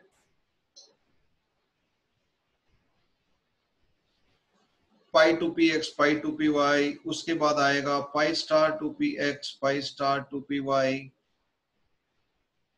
और उसके बाद सिग्मा टू पी जेड। पूरा लिख लेना राम कहानी यहाँ पे होता है वन इलेक्ट्रॉन और यहाँ पे होता है वन इलेक्ट्रॉन। आप लोग जानते हैं O2 में। ये आपका होमो हो गया। मैंने पहले वाले नहीं लिखे, मैंने काम काम के लिखे हैं होमो और ल्यूमो इन दोनों के बीच में जो एनर्जी गैप है, वो काफ़ी ज़्यादा होता है, इसलिए अल्ट्रावायलेट रेडिएशन एब्जॉर्ब करता है, क्योंकि वो ज़्यादा एनर्जेटिक है विजिबल एब्जॉर्ब नहीं करता विजिबल से ज़्यादा एनर्जी गैप है तो ज़्यादा एनर्जी वाली radiation ultraviolet radiation absorb F2 इसमें 16 इलेक्ट्रॉन तो इसमें 18 इलेक्ट्रॉन यस सर 18 सारी रामकानी ऐसे ही लिख लेना। Pi star two P X pi star two P Y जो जेड एक्सिस को हमने इंटरन्यूक्लियर एक्सिस लेकर चले थे वही है। तो पी वाई पाई बना रहे हैं पाई और पाई स्टार यहाँ पे अगर हम बात करेंगे तो सिग्मा टू पी जेड सोलह की बजाय ये सोलह तो यहाँ तक हो गए सत्रह sir voice is not clear सत्रह एंड अठारह हो जाएगा ठीक है? वन एंड वन यहाँ पे क्या हो जाएगा? दो इलेक्ट्रॉन और बढ़ाने हैं और दोनों को हम सेम स्टाइल से लिखते हैं।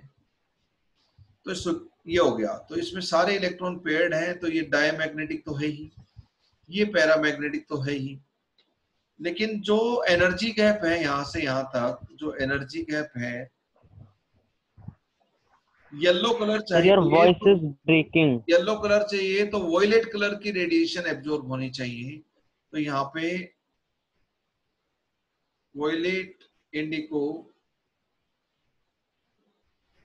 radiations are absorb तो इसलिए फाइनल कलर उसका येलो कलर हो जाता है। Are you able to listen guys sir एक बार ऊपर वाला बता दो। देखो भाई यहाँ पे होमो ये हो गया ल्यूमो ये हो गया यहाँ पर भी होमो ये हो गया। होमो मतलब जिसमें इलेक्ट्रॉन हो ल्यूमो मतलब जो खाली पड़ा हो। इलेक्ट्रॉनिक कॉन्फ़िगरेशन लिख लो। होमो से ल्यूमो इलेक्ट्रॉन जंप करेगा। होमो से ल्यूमो में इलेक्ट्रॉन जंप करेगा। अगर विजिबल पार्ट में रेडिएशन एब्जॉर्ब हुई तो उस कंपाउंड का कुछ ना कुछ कलर होगा। अगर अल्ट्रावायलेट में एक्सरे गामा रे वाले हाई एनर्जेटिक रेडिएशन एब्जॉर्ब हुई, या विजिबल के अलावा कोई कम energetic radio microwave radiation absorb हुई तो उसका कॉम्प्लीमेंट्री कलर कुछ नहीं होता। वो कंपाउंड कलरलेस हो जाता है। तो यहाँ पे ऑक्सीजन कलरलेस है क्योंकि इसका एनर्जी गैप में अल्ट्रावायलेट रेडिएशन एब्जॉर्ब होती है तो इसका कलर नहीं होता। लेकिन F2 में जो एनर्जी गैप कम है, उसमें वोयलेट इंडिगो कलर वाली रेडिएशन एब्जॉर्ब करता है जो विजिबल पार्ट का हिस्सा है। तो वोयलेट इंडिगो का कॉम्प्लीमेंट्री कलर होता है येलो कलर तो इसलिए F2 gas is yellow coloured gas okay sir in case of O2 energy gap between HOMO and LUMO is large. किस and that that energy gap require ultraviolet radiation.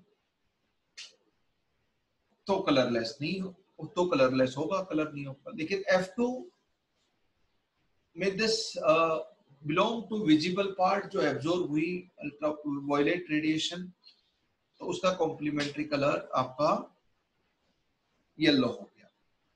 That's what ठीक है? Sir class कब तक है? Wait for two three minutes इसको हमने खत्म कर दिया हमने ये पूरी तरह आई थिंक ओके सर हमें Okay, तो sir. 12:45 तक ही है क्या हुआ? सर 12:45 तक नहीं हम लोग ज़्यादा करेंगे। एन एन एक एक चीज़ एक क्वेश्चन लिख लो। Nitrogen nitrogen bond length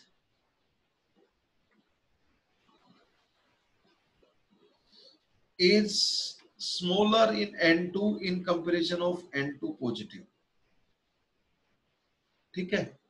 N2 में जो NN बॉन्ड लेंथ है, वो N2 पॉजिटिव की NN बॉन्ड लेंथ से छोटी है बट नाइट्रोजन ऑक्सीजन जो बॉन्ड लेंथ है, वो NO में बड़ी है और NO पॉजिटिव में छोटी है. Explain why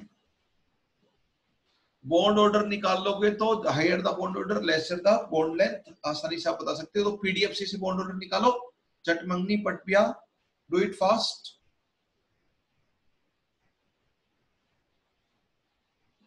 do it fast भाई एमओ थ्योरी हमने काफ़ी डिटेल में की है। एमओ थ्योरी बहुत इंपॉर्टेंट थी, इसलिए हम लोगों ने बहुत टाइम दिया है एमओ थ्योरी को।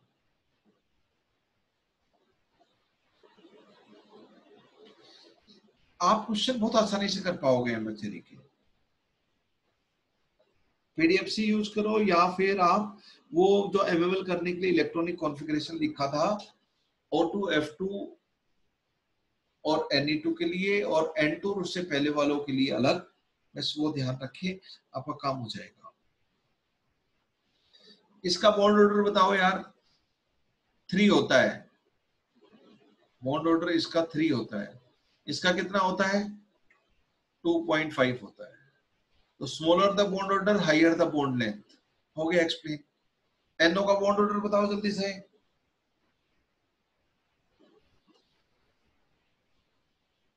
Two point five NO positive का three higher the bond order lesser the bond length N वाई से Varsha explain explain I think you understood it.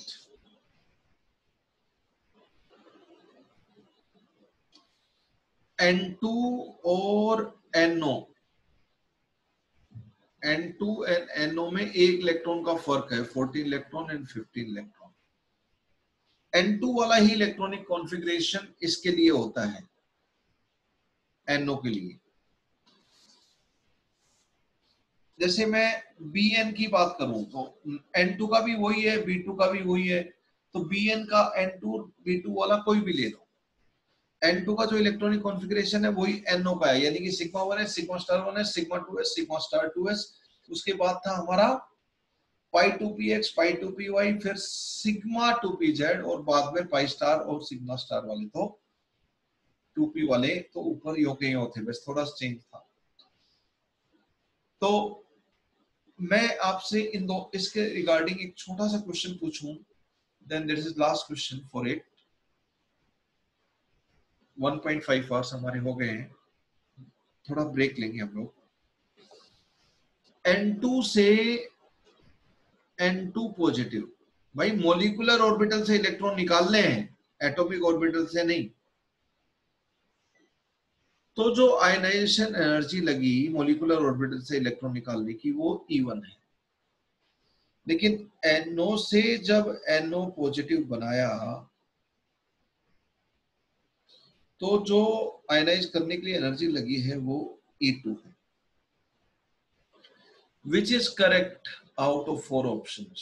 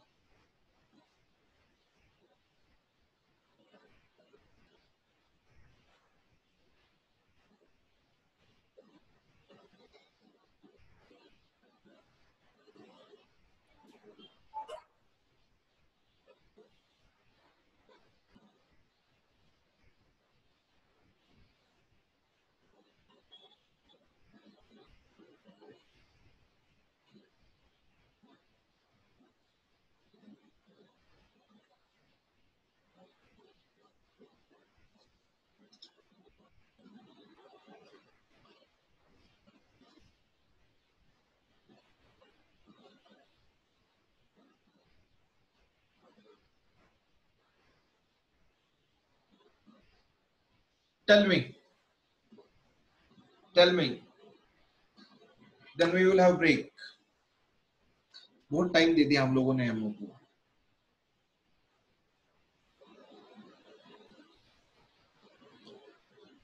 N two का यार होमो क्या होता है? बताओ जल्दी से।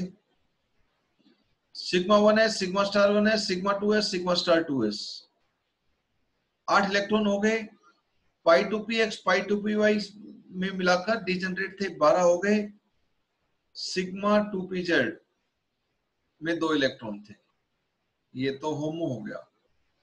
इसमें तो पंद्रह इलेक्ट्रॉन है, चौदह। तो इसका होमो क्या हो गया? एन टू का तो ये हो गया। एनओ का होमो क्या हो गया? होमो से इलेक्ट्रॉन निकलता है। तो चौदह इलेक्ट्रॉन तो यहाँ तक हो गए सिग्मा टू पी जेड उसके बाद आता है pi star two P X and pi star two P Y दोनों बराबर एनर्जी के। पंद्रह इलेक्ट्रॉन में एक इलेक्ट्रॉन इधर जाएगा तो इसका होमो ये हो गया। तो इलेक्ट्रॉन निकालेंगे तो सबसे पहले हाईएस्ट एनर्जी वाले से निकालेंगे इजीएस्ट उसी से होता है। तो यहाँ बॉन्डिंग से निकालेंगे, यहाँ पे electron remove from from bonding molecular orbital और यहाँ पे electron remove from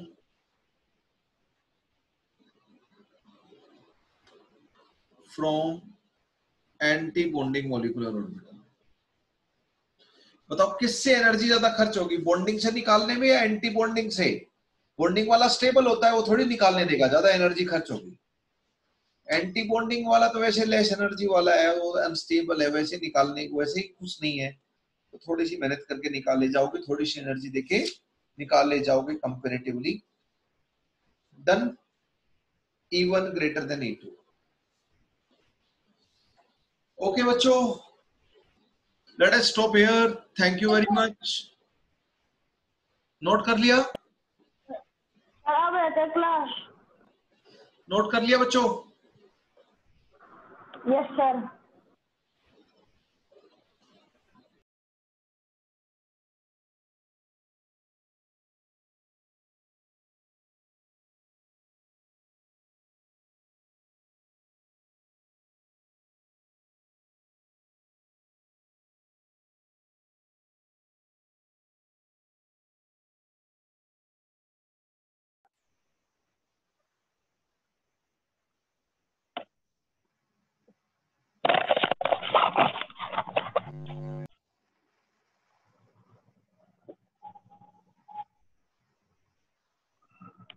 ammo theory में हम लोग सारा डिस्कशन कर चुके हैं अभी।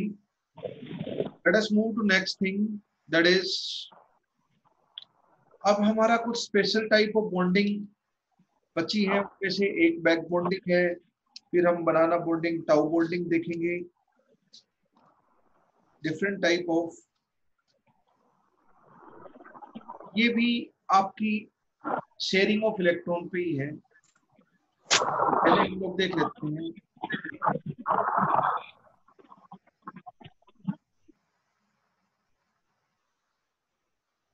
Back bonding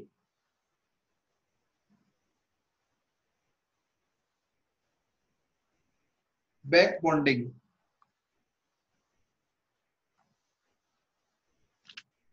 back bond क्या होता है बच्चों? कोऑर्डिनेट बॉन्ड ही होता है।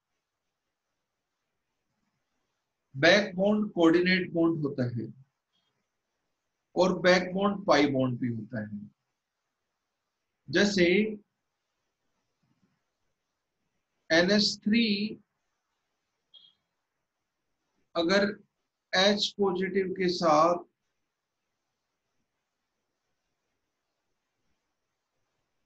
कोऑर्डिनेट बॉन्ड बनाती है तो ये सिग्मा कोऑर्डिनेट बॉन्ड है। लेकिन कार्बन और ऑक्सीजन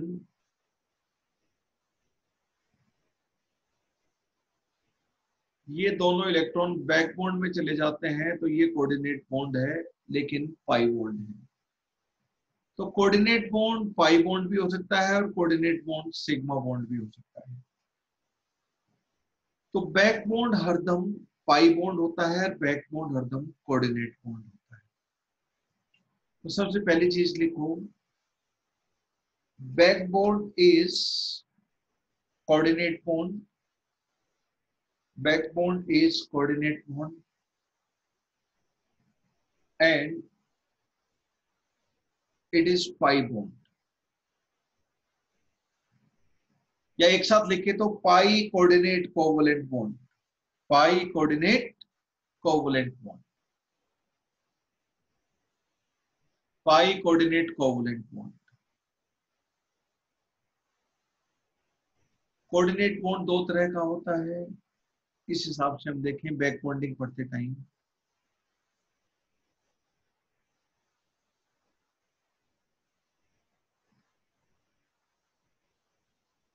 एक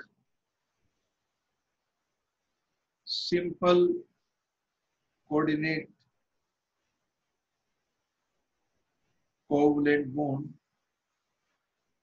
हम डेटिव बॉन्ड भी बोलते थे। डोनर से एक्सेप्टर में इलेक्ट्रॉन दे दिया जाता है और सिग्मा बॉन्ड होता है। और दूसरा कोऑर्डिनेट बॉन्ड बैक बॉन्ड होता है, जिसमें डोनर से एक्सेप्टर के बीच में पहले से एक सिग्मा बॉन्ड तो होगा ही होगा। और ये एड ऑन बॉन्ड होगा पाई बॉन्ड ये जो पाई बॉन्ड है this is backbone. ये आपका पी पाई पी पाई भी हो सकता है जब सेकंड पीरियड सेकंड पीरियड के बीच में कोऑर्डिनेट बॉन्ड हो पी पाई डी पाई भी हो सकता है। लेकिन तीसरा एक पाई बॉन्ड था D pi D pi D pi D pi कभी भी बैक बॉन्ड के रूप में काम नहीं करता है। D pi D pi bond is never back ठीक है? अब what are the conditions of coordinate bond to be back bond या बैक बॉन्ड की कुल मिलाकर क्या कंडीशन देखनी है? जो कोऑर्डिनेट बॉन्ड की कंडीशन थी, वो बैक बॉन्ड की कंडीशन है। देखो conditions for back Boulding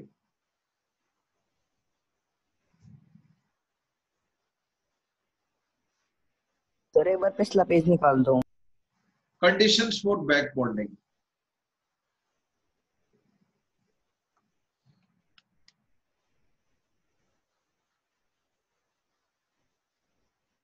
coordinate bond की क्या कंडीशन थी? डोनर एटम के पास एटलीस्ट एक लोन पेयर होना चाहिए और एक्सेप्टर एटम के पास एटलीस्ट एक वैकेंट ऑर्बिटल होना चाहिए।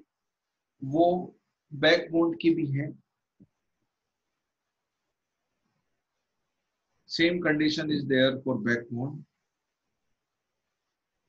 first, donor must have at least one lone pair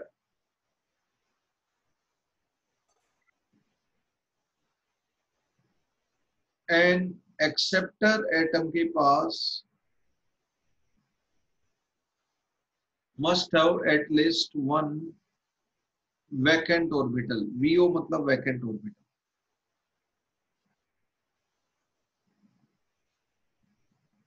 conditions for back bonding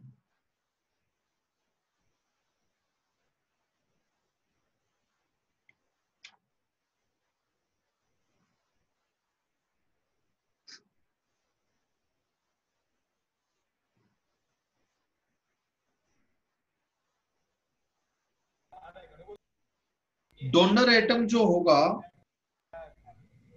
donor atom and acceptor atom ये भी सेकंड पीरियड से है। ये भी सेकंड पीरियड से है। चलेगा। आपका दोनों पीपी ओवरलैपिंग कर लेंगे तो बैकबोन्ड होगा, वो कौन सा पाई बॉन्ड होगा? P pi p pi, p. Donor second period से हो। एक्सेप्टर थर्ड पीरियड पीरियड से हो। तो भी चलेगा। डोनर थर्ड पीरियड से हो। एक्सेप्टर सेकेंड पीरियड से हो।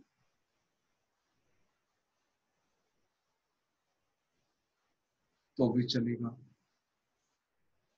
इस केसेस में जो थर्ड पीरियड वाला होगा, वो पी और सेकंड पीरियड वाला तो पी ही अवेलेबल करवाएगा। लेकिन थर्ड वाला पी भी अवेलेबल करवा सकता है और डी भी अवेलेबल करवा सकता है। तो इसमें सेकंड पीरियड का पी ऑर्बिटल ये थर्ड पीरियड का p orbital p pi p pi second period का पी ऑर्बिटल लेकिन थर्ड पीरियड वाले का डी ऑर्बिटल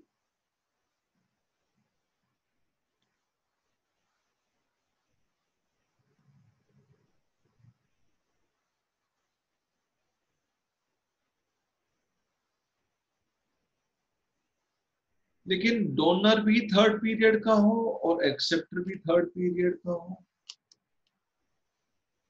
नॉट एक्सेप्टेबल और इससे हायर पीरियड्स हो नॉट एक्सेप्टेबल डोनर और एक्सेप्टर सेकेंड और थर्ड पीरियड के ही हैं। Donor atom mostly second period का रहता है। ये केसेस बहुत कॉमन है। डोनर एटम की फॉर्म में आपको फ्लोरीन ऑक्सीजन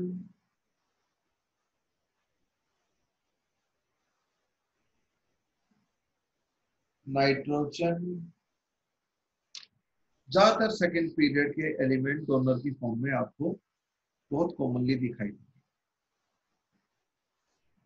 एक्सेप्टर के लिए थर्ड पीरियड के भी हो सकते हैं, पर जो बहुत कॉमन है वो मैंने लिखे हैं।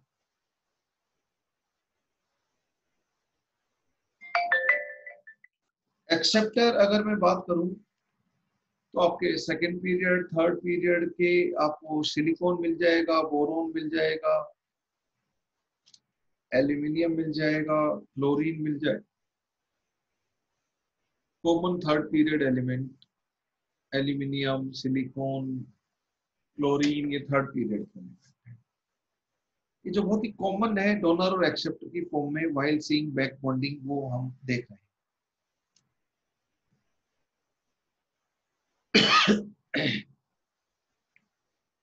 बैक बॉन्डिंग से किस किस पैरामीटर के ऊपर फ़र्क पड़ेगा?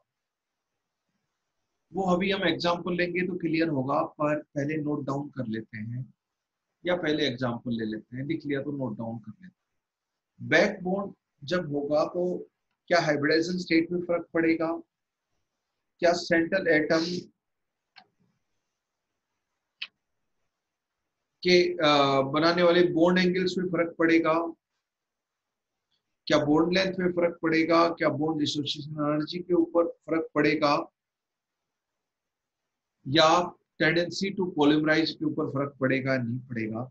लेट अस सी फ़र्स्ट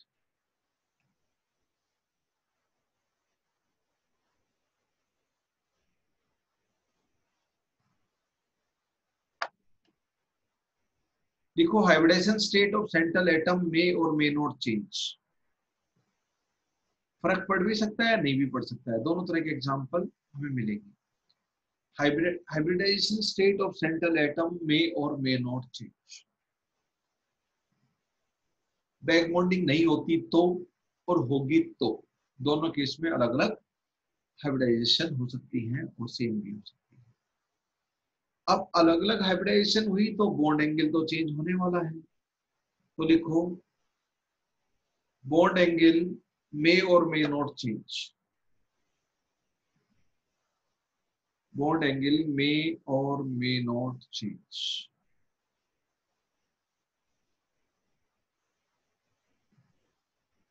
हम बात करते हैं बॉन्ड लेंथ बॉन्ड एनर्जी और बॉन्ड स्ट्रेंथ बोल दो ना। जितनी ज़्यादा बॉन्ड लेंथ उतनी ही कम bond energy like that similar atoms के बीच में। हाँ ये ज़रूर चेंज होती है। बिना बैक बॉन्डिंग के और बैक बॉन्डिंग के दो केस लें तो बॉन्ड एनर्जी बॉन्ड स्ट्रेंथ ये ज़रूर। जैसे ही बैक बॉन्ड कंसिडर करते हैं तो एक एक्स्ट्रा बॉन्ड बन जाता है तो आपका बॉन्ड एनर्जी और बॉन्ड स्ट्रेंथ बढ़ जाएगी और बॉन्ड लेंथ घट जाएगा क्योंकि एक्स्ट्रा बॉन्ड बनने से बॉन्ड स्ट्रॉन्ग हो जाता है। तो लिखो due to back bond bond energy bond strength increases and bond length decreases एक बार रिपीट कर दो। Due to back bonding due to back bonding bond energy and bond strength increases but bond length decreases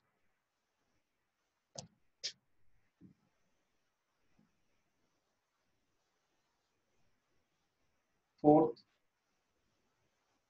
जो electron back bonding में चले गए वो polymerization में ब्रिज बॉन्डिंग में जाने की टेंडेंसी कम रखेंगे तो पोलिमराइजेशन होने के चांसेस कम होंगे। देखो as strength as strength of back bonding increases strength of back bonding increases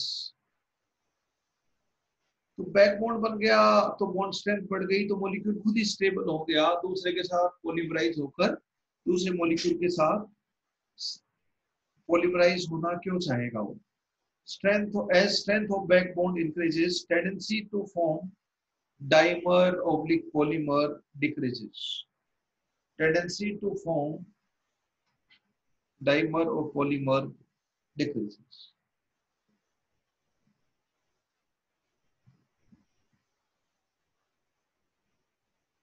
अब हम देखते हैं बैकबोर्ड पाई बॉन्ड ये ज़्यादा कुछ इसके बारे में सोचना नहीं है मैं बात करता हूँ B F three sp2 hybridisation है, कोई भी बच्चा देख सकता है। तीन वैलेंस इलेक्ट्रॉन तीन मोनोवैलेंट चार ज़ीरो डिवाइड बाई टू तो सेंट्रल एटम की हाइब्रिडाइजेशन होगी sp2 तीन फ्लोरीन है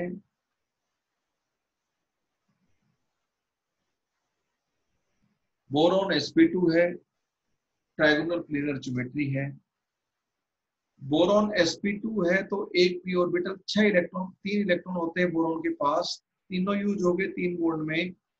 तो जो एक प्योर पी ऑर्बिटल होगा, वो sp2 वाले ट्राइगोनल प्लेनर से परपेंडिकुलर होता है। और वो खाली है यहाँ पर, क्योंकि तीन इलेक्ट्रॉन थे, तीन तो यूज़ हो गए बॉन्ड बनाने में। तो इलेक्ट्रॉन बचे ही नहीं। वो खाली ही होगा। तीन हाइब्रिड ऑर्बिटल तो 120 डिग्री पे बीएफ बॉन्ड बनाने में यूज़ हो गए। एक pure atomic orbital p orbital बच गया। Sp2 में दो गए हैं p orbital pure p orbital लेकिन इसकी अगर मैं बात करूँ तो फ्लोरीन के पास सात इलेक्ट्रॉन होते हैं। एक यूज़ हो गया तो छह बचे और उससे तीन लोन पेयर बचे इसके ऊपर। देखो, मैंने बोला कि ये जो high energy electron lone pair pi bond जो भी है, इनको जब भी डीलोकलाइज होने का मौका मिलता है, घूमने का मौका मिलता है, दूसरे न्यूक्लियस या न्यूक्लियाई से अट्रैक्ट होने का मौका मिलता है तो वो electron by nature naughty electron है, वो ज़रूर जाएँगे, वो नहीं रुकने वाले। Provided they get opportunity in life तो यहाँ पर, और उसके लिए आपको प्योर पी ऑर्बिटल में इसके लॉन पेयर को लेके आना पड़ेगा। तो एक लॉन पेयर इसके प्योर पी ऑर्बिटल। अब दोनों पी ऑर्बिटल ओवरलैप हैं ये ऐसे ओवरलैपिंग है दोनों की। अच्छे से बना लो।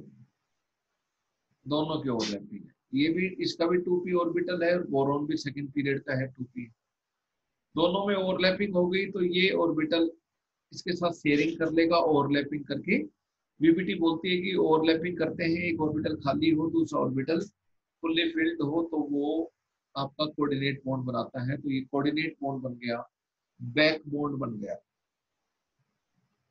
अब इस तरह की बैक बॉन्डिंग पी ऑर्बिटल एक बार ये पी ऑर्बिटल इसके साथ इलेक्ट्रॉन ले रहा है तो इसमें दो इलेक्ट्रॉन हो गए। तीनों फ्लोरीन से एक साथ इलेक्ट्रॉन नहीं ले सकता। तीन बैकबोन्ड एक साथ नहीं बना सकता बोरोन एक ही बना सकता है एट ए टाइम तो जब इसके साथ बना रहा होगा, फिर बाद में इसके साथ बना रहा होगा और बाद में इसके साथ बना रहा होगा। एक मोमेंट के ऊपर एक ही फ्लोरीन के साथ बोरोन बैकबोन्ड बना सकता है, क्योंकि एक ऑर्बिटल में मैक्सिमम दो इलेक्ट्रॉन हो सकते हैं। मान लो तीनों के साथ बैकबोन्ड बना रहा है तो दो इलेक्ट्रॉन इधर से आगे, दो इलेक्ट्रॉन छह इलेक्ट्रॉन हो जाएँगे। पोली एक्सक्लूजन प्रिंसिपल तो फेल हो जाएगा, ऐसा नहीं करना हमें। ठीक है? जब इसका पी ऑर्बिटल इसके पी ऑर्बिटल के साथ ओवरलैप करेगा तो इधर से बैक बॉन्डिंग होगी, इधर से बैक बॉन्डिंग होगी। तो एट ए टाइम एक बैक बॉन्ड तो तीनों फ्लोरीन के साथ बैक बॉन्ड बना सकता है। तो बी एफ़ ये तो मैंने ऑर्बिटल के हिसाब से बताया। जब इधर बैक बॉन्ड है तो एक रेजोनिक स्ट्रक्चर यहाँ ऐसे भी दिखा सकते हो इसी चीज़ को आप। पॉजिटिव नेगेटिव की तरह। You can show like this same चीज़। दूसरा अगर हम बात करें इधर, दूसरे फ्लोरीन के साथ डबल बॉन्ड करेक्टर आ गया। बैक बॉन्डिंग कुछ भी नहीं है delocalisation of lone pair to neighbouring atom उसी डीलोकलाइजेशन को रेजोनेंस भी बोलते हैं। Back bond is nothing but one case of resonance but resonance में तो बहुत सारे न्यूक्लियाई के पास घूमने जा सकता है। बैकबोन में तो जस्ट पड़ोसी के पास गया है हाई एनर्जी इलेक्ट्रॉन तीसरा रेजोनिक स्ट्रक्चर इसका हम बनाए तो तीसरा वाला फ्लोरीन जो है, उसके साथ आप बैकबोन दिखा दो। तो एट ए टाइम एक के साथ रहेगा। तो रेजोनेंस हाइब्रिड क्या हो गया? बोरोन है।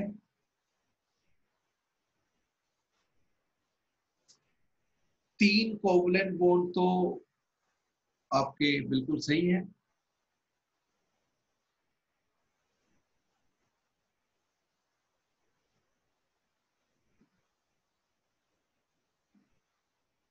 यहाँ bond order single bond single bond double bond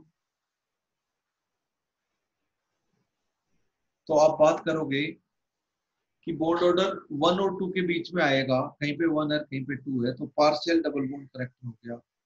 same way यहाँ पर भी वही सेम बॉन्ड ऑर्डर आएगा, क्योंकि एक इन तीन रेजोनेट स्ट्रक्चर में से एक तो ये ओरिजिनल रेजोनेट स्ट्रक्चर आपका है तो तीन में से दो में सिंगल बॉन्ड है, एक में डबल बॉन्ड है, सभी में ऐसा ही है। जब देखो ये कोऑर्डिनेट बॉन्ड होगा तो हम बोरोन पे नेगेटिव और फ्लोरीन पे पॉजिटिव दिखा सकते हैं। तो तीनों फ्लोरीन पे resulting charge plus one zero zero करके एवरेज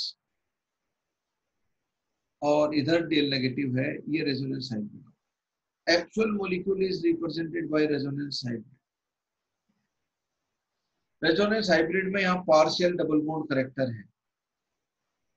तो बी एफ़ थ्री का जो आपने स्ट्रक्चर बनाया था, वहाँ पे बॉन्ड ऑर्डर आपको वन लग रहा था, लेकिन बैक बॉन्डिंग कंसिडर करें तो बॉन्ड ऑर्डर टू तो हम लोग बात करेंगे कि experimental value of bond length of B F bond in B F three is smaller than theoretically expected value of bond length of B F bond क्यों? क्योंकि एक्चुअल में बॉन्ड लेंथ छोटी क्यों है? क्योंकि बैक बॉन्डिंग से हम इस चीज़ को एक्सप्लेन कर सकते हैं। बैक बॉन्ड से हम लोग एक्सप्लेन कर सकते हैं। तो लिखो experimental determined B F bond length in B F three experimentally determined BF bond length in BF3 experimentally determined BF bond length in BF3 is smaller than theoretical bond length, smaller than its theoretical value, यानी कि theoretical bond length, theoretical BF bond length. Explain. Explain.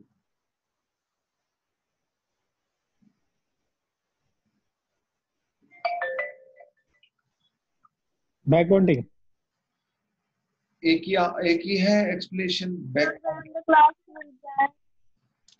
only one explanation is there. Back bonding फिर खत्म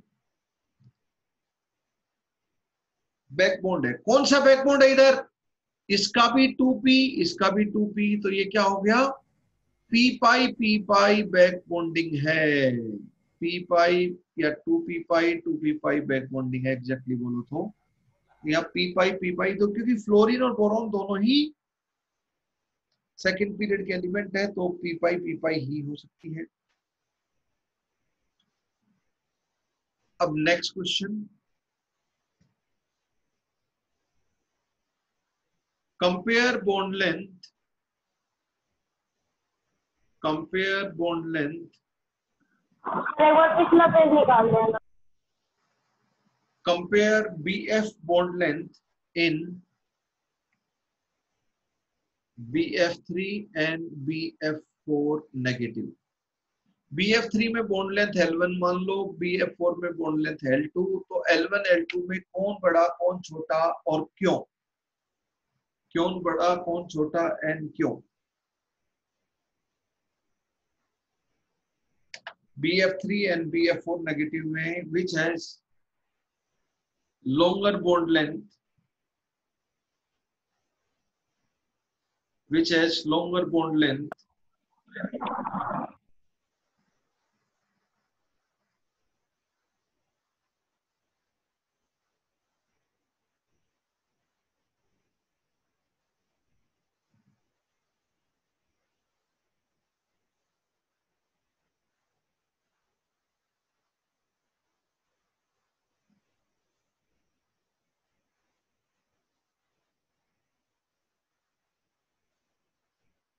L1 L2 में कौन पड़ा बच्चों?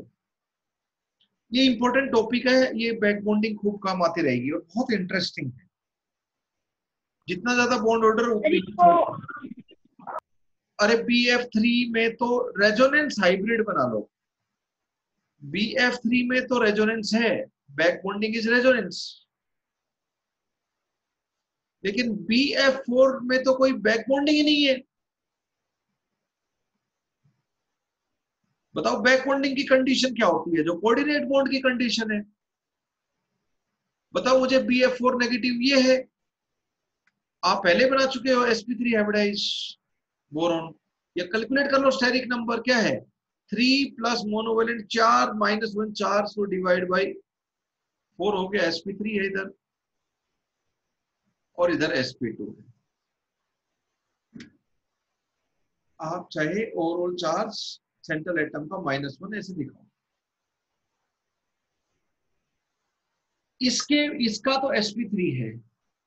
तो boron के पास एक भी p ऑर्बिटल खाली नहीं है, चार p, तीनों p ऑर्बिटल sp3 हाइब्रिडाइजेशन में चले गए। और d तो होते नहीं है सेकंड पीरियड एलिमेंट हाँ इसके पास लोन पेयर तो है। तो एक के पास लोन पेयर होने चाहिए वन और मोर देन वन और दूसरे के पास वैकेंट ऑर्बिटल होने चाहिए।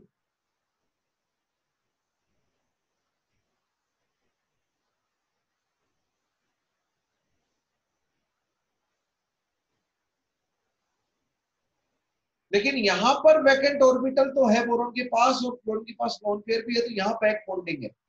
इसलिए यहाँ रेजोनेंस होगा और रेजोनेंस हाइब्रिड में पार्शियल डबल बॉन्ड करेक्टर आ जाएगा। यहाँ बी एफ़ का bond order greater than one है वन और टू के बीच में है बॉन्ड ऑर्डर लेकिन यहाँ पे बॉन्ड ऑर्डर परफेक्टली वन ही है। Higher the bond order lesser the bond length तो इसकी बॉन्ड लेंथ छोटी होगी और इसकी बॉन्ड लेंथ बड़ी होगी।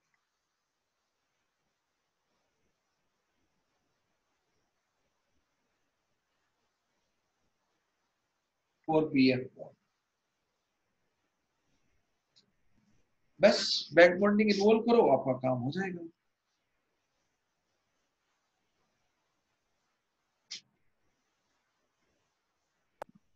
सर अगर लेकिन इसको स्टाइलिंग नंबर से देखते तो उल्टा आ रहा है। क्या बोल रहे हो? सर लेकिन इसको अगर स्टाइलिंग नंबर से देखते तो उल्टा आ रहा है L one greater than L two आ रहा है।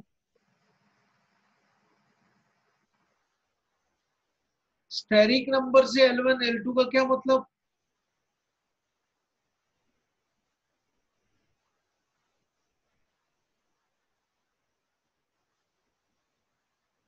स्टेरिक नंबर से एल वन एल टू का क्या मतलब बता रहे हो आप इधर? In this case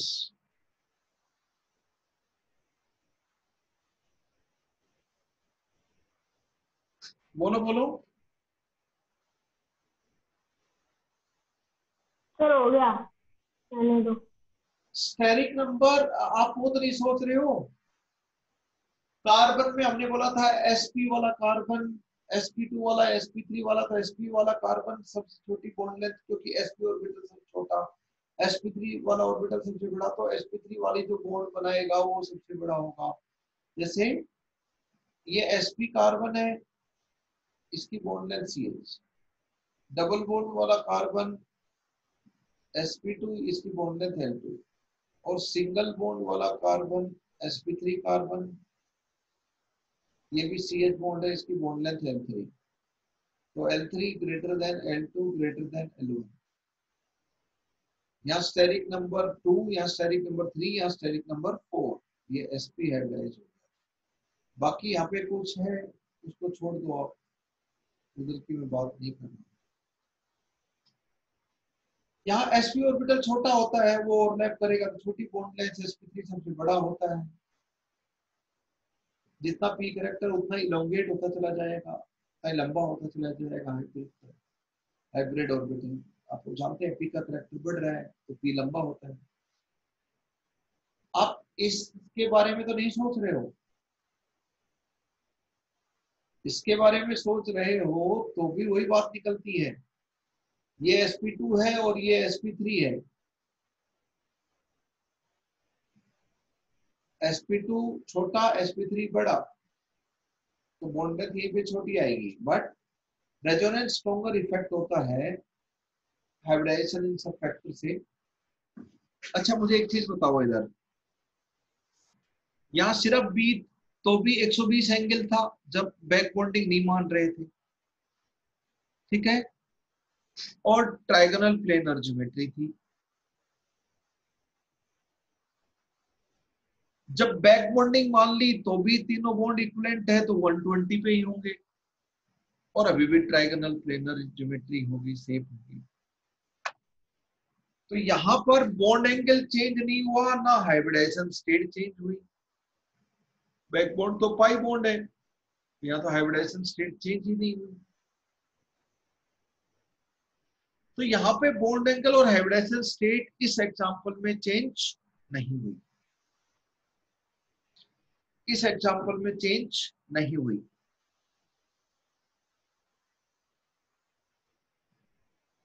not change तो मैंने बोला था मे और मे नॉट चेंज लेकिन बॉन्ड लेंथ तो चेंज होगी ना, घट गई। बॉन्ड एनर्जी तो बढ़ गई बॉन्ड स्टेबिलिटी तो बढ़ गई बॉन्ड स्ट्रेंथ तो बढ़ गई। क्योंकि बॉन्ड ऑर्डर बढ़ा। बॉन्ड ऑर्डर बढ़ेगा बढ़ेगा बैक बॉन्ड से एक्स्ट्रा बॉन्ड बनेगा। ठीक है? तो दिस इज़ अब बताओ, दो सेकंड पीरियड के एलिमेंट है तो two p two p orbital overlap करेंगे। एक सेकंड पीरियड का है और दूसरा थर्ड पीरियड का है। एक सेकंड पीरियड का है और दूसरा फोर्थ पीरियड का है। एक सेकंड पीरियड का है and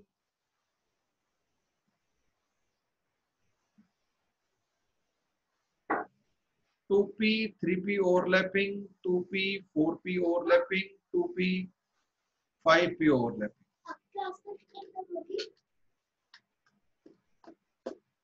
time लगेगा two p two p overlapping two p three p overlapping तो बताओ, सबसे ज़्यादा इलेक्ट्रॉन क्लाउड पूरा इधर से इधर घूम रहा है। ये ओवरलैप कर लेना थोड़ा सा। इधर से इधर इलेक्ट्रॉन क्लाउड वही दो इलेक्ट्रॉन घूम रहे हैं, अगर इसको ये देना है। तो यहाँ पे ओवरलैपिंग का तो बहुत कम परसेंटेज ऑफ़ ऑर्बिटल आया ऑर्बिटल का बहुत कम रीजन ओवरलैप किया। फिर दूसरा छुटकू है। तो जितनी कम ओवरलैपिंग होगी, उतना ही कम इफ़ेक्टिव बॉन्डिंग वीबीटी यही बोलती है greater the extent of overlapping percentage of p orbital का कुल साइज़ कितना है और उसका कितना हिस्सा ओवरलैप हो रहा है? परसेंटेज की टर्म में सोचे आप। तो बताओ, सबसे इफ़ेक्टिव बैक बॉन्डिंग कौन सी? Which is most effective back bonding जिसमें ओवरलैप सबसे यहाँ पे तो एरिया का सिग्निफिकेंट परसेंटेज हो रहा है यहाँ पे तो इतना बड़ा पी ऑर्बिटल है उसका क्या टिंगी सा हो रहा है? तो overlapping percentage of orbital overlap is very less दो जो पीपी होता है उसमें जैसे मैं बी एफ़ थ्री की बात करूँ बोरॉन फ्लोरीन दोनों सेकेंड पीरियड के थे। बोरोन फ्लोरीन दोनों सेकेंड पीरियड के थे। बोरॉन फ्लोरीन दोनों सेकंड पीरियड के हैं। यहाँ पे अगर मैं बी सी एल थ्री की बात करूँ तो बोरॉन सेकंड पीरियड का, ये थर्ड पीरियड का था टू पी थ्री पी हो जाएगी। बी बी आर थ्री में बैक बॉन्डिंग की बात करूँ तो टू पी और ब्रोमीन फोर्थ पीरियड की है तो फोर पी देगा। B I three boron halide में ऐसा हो जाएगा। Fluorine chlorine bromine iodine second period third period fourth period fifth period हाँ ये पीरियड है आपके।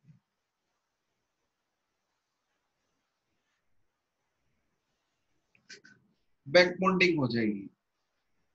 अब मैं आपसे एक बहुत अच्छा क्वेश्चन पूछता हूँ। कौन अच्छा लिविस एसिड जो अच्छा electron pair acceptor electron pair कौन एक्सेप्ट करेगा? खुद से इलेक्ट्रॉन पेयर एक्सेप्ट नहीं करना होता। बैक बॉन्डिंग में तो उस मोलिक्यूल के अंदर ही एक एटम दूसरे बी एफ़ थ्री में बोरोन और फ्लोरीन दोनों एटम मोलिक्यूल के अंदर है बी एफ़ थ्री मोलिक्यूल के अंदर। लेकिन ल्यूविस एसिड होता है जो किसी दूसरी पार्टी से इलेक्ट्रॉन पेयर ज़्यादा से ज़्यादा ले। जितना ज़्यादा इलेक्ट्रॉन पेयर लेने की टेंडेंसी है, उतना ही अच्छा ल्यूविस एसिड जितना ज़्यादा इलेक्ट्रॉन पेयर देने की टेंडेंसी है, उतना ही अच्छा Lewis base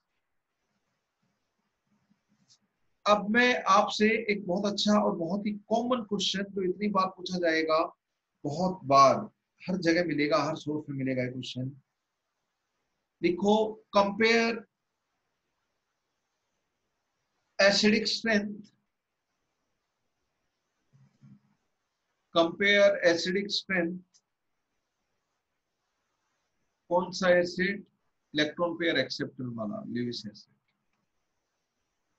compare acidic strength of boron halides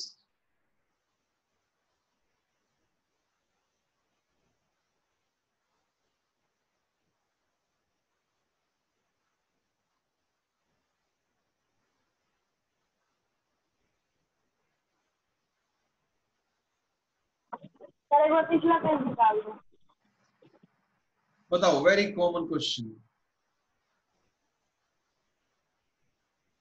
सारे बोरोन के हेलाइड्स में सबसे अच्छा लिविस एसिड कौन सा है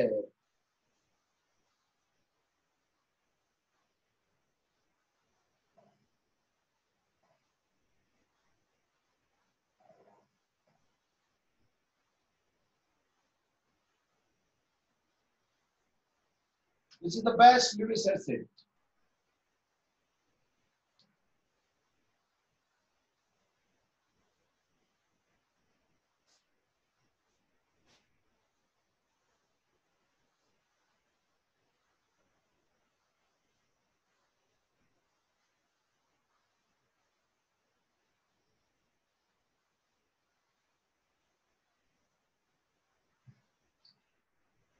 अब ये बैक बॉन्डिंग तो सबसे अच्छी किसमें है बताओ।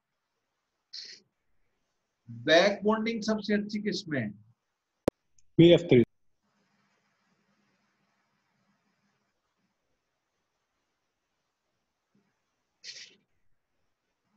बोरोन के पास सब जगह एक खाली ऑर्बिटल है। लेकिन जैसे ही वो किसी दूसरे से इलेक्ट्रॉन लेगा तो वो लिविस एसिड कहला पाए। कितने लोगों को लगता है लिविस एसिड करेक्टर ये सही है। कितने लोगों को लगता है सबसे strong Lewis acid B I three बताओ, ये ये ऊपर वाला कितने लोगों को लगता है? एनीवन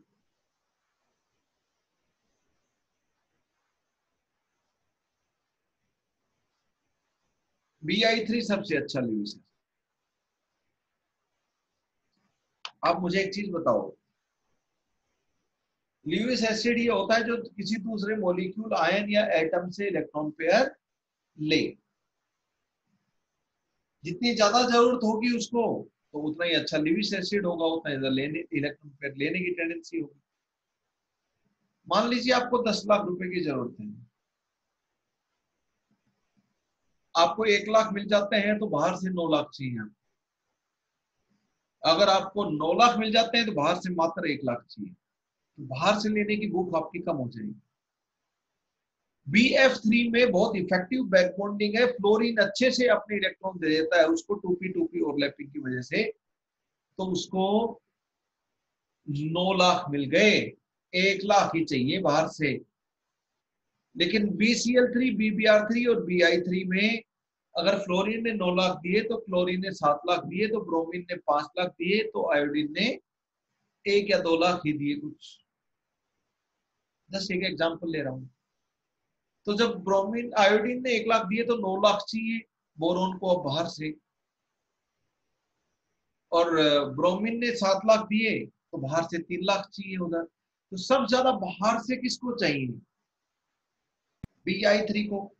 तो दूसरे से इलेक्ट्रॉन पेयर लेने की टेंडेंसी सब ज़्यादा किसकी होगी? बी आई थ्री की होगी। Very common question hope you understood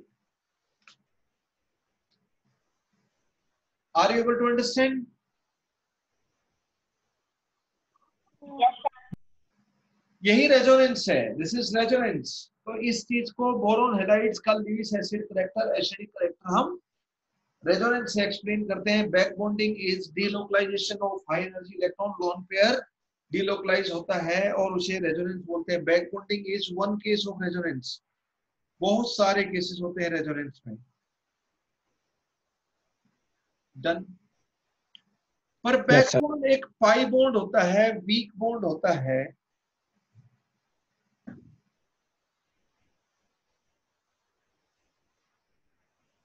उससे अच्छा सिग्मा लेकिन किसी दूसरी पार्टी से बॉन्ड बनेगा तो सिग्मा बनेगा। जब लिविस एसिड होगा तो किसी दूसरे एटम आयन से इलेक्ट्रॉन लेगा तो पहला ही बॉन्ड बनेगा किसी दूसरे के साथ तो तो वो सिग्मा बॉन्ड होगा। But back bond is always pi bond तो बैकबोन में भी कोऑर्डिनेट बॉन्ड बनता है और ल्यूइस एसिड बेस में भी ल्यूइस बेस इलेक्ट्रॉन पेयर देता है ल्यूइस एसिड लेता है। वहाँ पर भी कोऑर्डिनेट बॉन्ड बनता है बैकबोन भी कोऑर्डिनेट बॉन्ड है, पर ये मॉलिक्यूल के अंदर की कहानी है बैक बॉन्डिंग और लिविस एसिड मतलब किसी दूसरी पार्टी से इलेक्ट्रॉन लेना इलेक्ट्रॉन पेयर लेना एक छोटा सा क्वेश्चन लिख लो।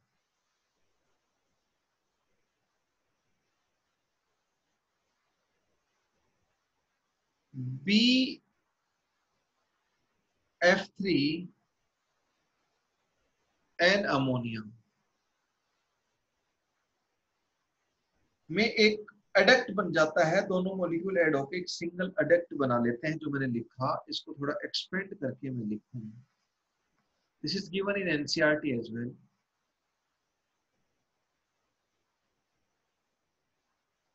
इसके पास छह इलेक्ट्रॉन खाली ऑर्बिटल है इसके पास आठ इलेक्ट्रॉन एक लोन पेयर है। तो इसको दान कर देगा। तो ये बैकबोन तो हुआ नहीं। दो अलग अलग मॉलिक्यूल है ammonia B F three molecule अलग है अमोनिया मॉलिक्यूल अलग है। ये लिविस बेस हो गया देने वाला और ये लिविस एसिड हो गया। अलग अलग पार्टी है। इस तरह कोऑर्डिनेट कोवेलेंट बॉन्ड क्या हुआ? कोऑर्डिनेट कोवेलेंट बॉन्ड है sir yes coordinate covalent bond है। क्या हुआ? कुछ नहीं बी एफ़ थ्री में तो बैक बॉन्डिंग भी पॉसिबल है अभी लिया था। अब क्वेश्चन ये है बी एफ़ थ्री में जब बैक बॉन्डिंग पॉसिबल है जब घर में इसको बोरोन का ऑक्टेट पार्सली कंप्लीट हो जाता है तो किसी दूसरे से नाइट्रोजन से किसी दूसरे से इलेक्ट्रॉन पेयर लेने की क्या ज़रूरत है? जब घर में काम हो जा रहा है विद इन मोलिक्यूल काम हो जा रहा है। Random question if back bonding is possible in B F three back bonding is possible in B F three then why B F three combine with ammonium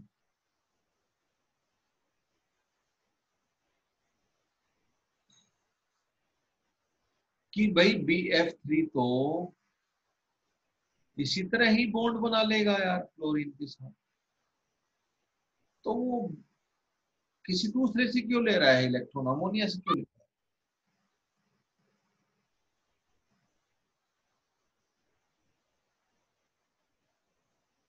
यहाँ पे सिग्मा बॉन्ड बन रहा है और यहाँ पे पाई बॉन्ड बन रहा है। Sigma bond is stronger than pi bond तो ज़्यादा स्ट्रॉन्गर बॉन्ड ज़्यादा स्टेबिलिटी के हिसाब से ये प्रीफर करता है B F three back bonding तो उसमें होती होती है। But that is sigma bond more stable, more stronger than pi ठीक है?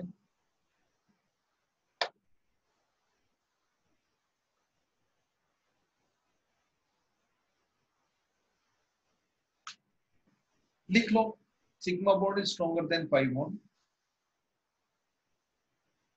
तो अमोनिया के साथ वो कोऑर्डिनेट बॉन्ड बनाता है वो आपका सिग्मा बॉन्ड है लेकिन जो बैकबोन्ड है वो एक pi coordinate sigma bond stronger होता है तो वो वाला काम होगा ज़्यादा रीजन क्या लिखना है?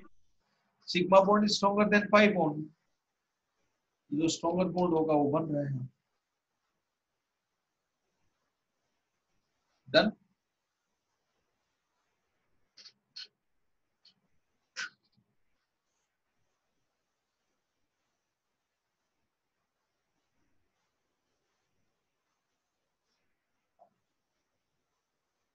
ठीक है बच्चों और क्वेश्चन करते हैं। सर क्लास कब खत्म होगी? हम बस फिफ्टीन फिफ्टीन सर शाम को लेक्चर होगा फिर? नहीं नहीं नहीं होगा। नहीं होगा। नहीं होगा नहीं अच्छा एक एक मिनट मैं इसको रब कर लेता हूँ। मैं क्वेश्चन नहीं लिख लेता नोट कर लिया ना सभी बच्चों ने?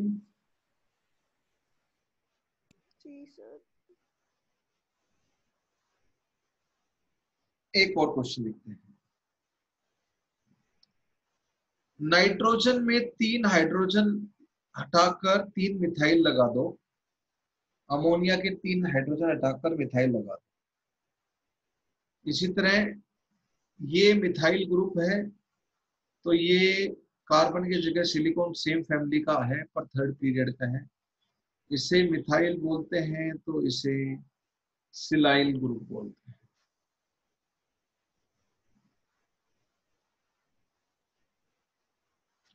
ये हो गया ट्राई।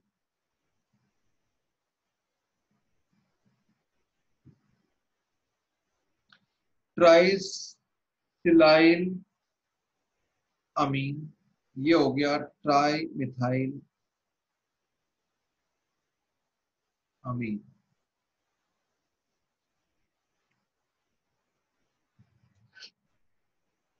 देखो explain the following explain the following. Trisilyl amine is planar.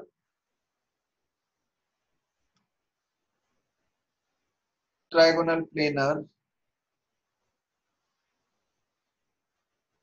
sp2 hybridized. Nitrogen sp2 hybridized. But trimethyl amine is trigonal pyramidal या सिर्फ pyramidal लिखो trimethyl amine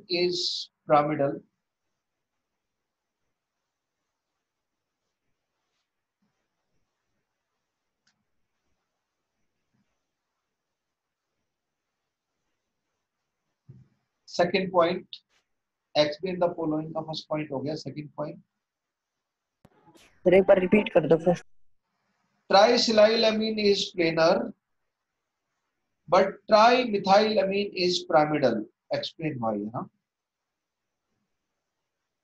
ये क्या है pyramidal है दोनों की शेप अलग है फॉर्मूला टाइप सेम है तो शेप एंड हाइब्रिडाइजेशन अलग हो सकती है ड्यू टू बैक बॉन्डिंग और नहीं भी हो सकती। नहीं भी हो सकती, उसके लिए बोरोन हेलाइड का एग्जांपल आप दे चुके हो। हो सकती है उसके लिए हम ये एग्जांपल ले रहे हैं।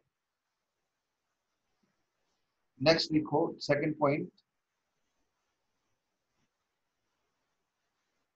तो यहाँ पर 120 डिग्री एंगल होगा और यहाँ पे 109 डिग्री 28 मिनट होगा। तो बॉन्ड एंगल अलग हो सकता है due to back bonding hybridization state अलग हो सकता है ड्यू टू बैक बॉन्डिंग हो भी सकता है, नहीं भी हो सकता। बोरोन हेलाइड के एग्जांपल में तो bond angle and hybridization state same थी यहाँ पे इस वाले में चेंज हो रही है इसमें बैक बॉन्डिंग है। सेकेंड पॉइंट लिखो जिसको एक्सप्लेन करना है। Trimethyl amine is stronger base Lewis base है ना? स्ट्रॉन्गर बेस ब्रैकेट लिखो Lewis base than trisilyl amine than trisilyl amine दोनों को एक्सप्लेन करना चलो, ये क्वेश्चन मैं एक्सप्लेन करता हूँ, अगले वाला आप देख नाइट्रोजन है, तीन कार्बन उससे जुड़े हुए हैं, लेकिन चौथा लोन पेयर है तो स्टेरिक नंबर फोर हो गए। तीन सिग्मा बोन और एक लोन पेयर तीन सिग्मा एक लोन पेयर फोर तो sp3 थ्री हाइब्रिडाइज हो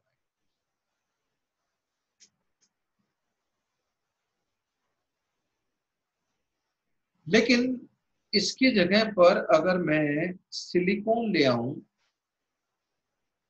कार्बन की जगह पर। तो सिलिकॉन तो थर्ड पीरियड एलिमेंट है। ये कार्बन भी sp3 है, ये सिलिकॉन भी sp3 है। लेकिन इसके पास d ऑर्बिटल तो है। Sp3 में तीन p खर्च हुए।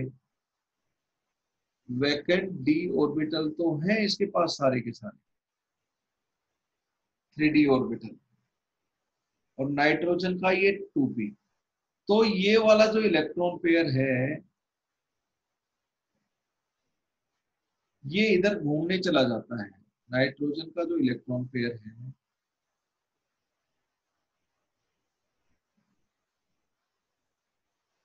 वो घूमने चला जाता है। एक बार इस सिलिकॉन के पास, एक बार उस सिलिकॉन के पास, एक बार उस सिलिकॉन। तो अब बताओ मैंने स्टेरिक नंबर क्या बताया था? Number of sigma bond steric number का क्या फॉर्मूला बताया था? स्ट्रक्चर बताओ तुम। Lone pair plus vacant और orbital pair in case कौन of थे? emergency जो रेजोनेंस में नहीं जा रहे हो Localized. लोकलाइज्ड वैकेंट ऑर्बिटल छोड़ दो इधर तो इसमें सिलिकॉन के पास वैकेंट थ्री डी ऑर्बिटल है तो इसने बैक बॉन्डिंग इसके पास लॉन पेयर इसके पास। तो ये P pi D pi back bond हो जाएगा। इसके साथ इसके साथ इसके साथ ऑल्टरनेट तो इस नाइट्रोजन की हाइब्रिडाइजेशन में steric number number of sigma bond तीन सिलिकॉन के साथ तीन लोकलाइज्ड लॉन पेयर ये डीलोकलाइज हो गया है लोकलाइज है? बैक बॉन्डिंग में चला गया तो। Delocalized.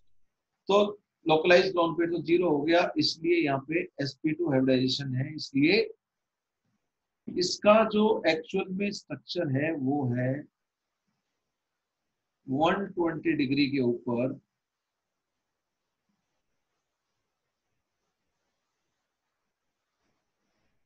इस तरह बैक बॉन्डिंग होगी। Two P pi three D pi back bonding तो ये आप बैक बॉन्डिंग में चला गया तो लोकलाइज रहा नहीं, इसलिए स्टेरिक नंबर एक से कम हो गया, इसलिए sp2 अब बताओ, इसके पास इलेक्ट्रॉन पेयर इधर ही है, कहीं घूमने नहीं गया तो ये अच्छा न्यू स्पेस होगा जिसके पास, अगर मैं आपसे बोलूँ कि आप मुझे सौ करोड़ रुपए दे दो तो आपके पास होंगे तो आप दोगे, नहीं होंगे तो कहाँ से दे दोगे भाई? हार्ड फैक्ट तो इस नाइट्रोजन के पास नॉन पेयर है तो कोई दूसरी पार्टी मांगने आएगी तो उसको दे देगा फटाक से लेकिन इसका तो नॉन पेयर घूमने गया है सिलिकॉन के साथ। तो कहने का मतलब अगर इसमें बैक बॉन्डिंग नहीं होती तो sp3 होता, लेकिन बैक बॉन्डिंग होने से हाइब्रिडेशन स्टेट sp2 हो चुका है। पहले बॉन्ड एंगल 109 डिग्री के लगभग होता।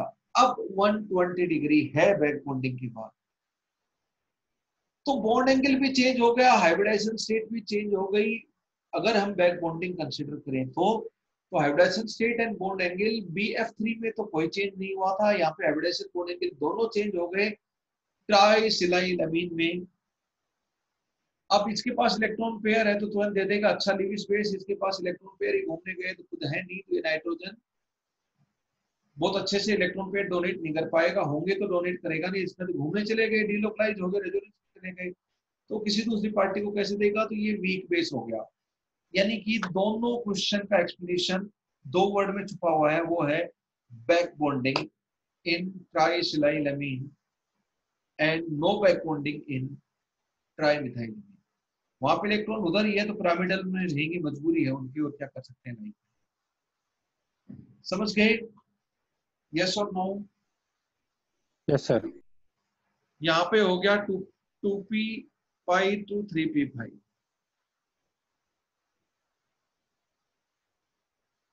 अब मैं बस एक दो एग्जांपल और ले लेता हूँ जल्दी से।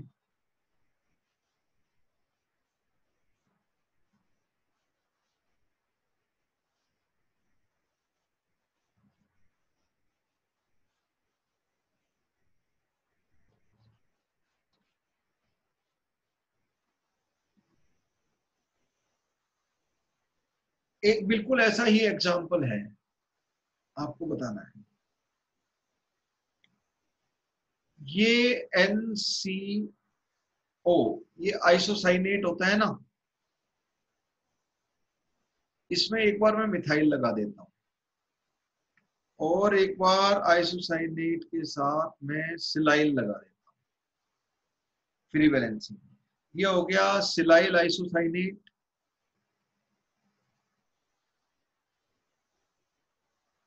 और ये हो गया आपका मिथाइल आइसोसाइनेट।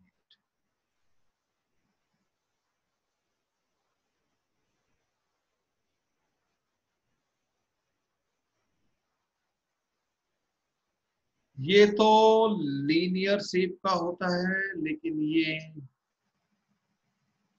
बैंड शेप का होता है।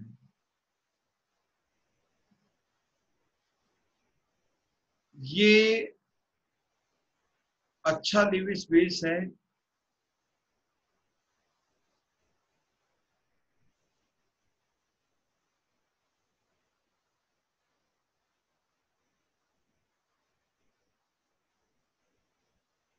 और trisilyl isocyanate relatively weaker Lewis base explain भाई अरे भाई, यहाँ नाइट्रोजन पे लोन पेयर है, लेकिन सिलिकॉन के पास थ्री ऑर्बिटल खाली है, ये टू पी का लोन पेयर है।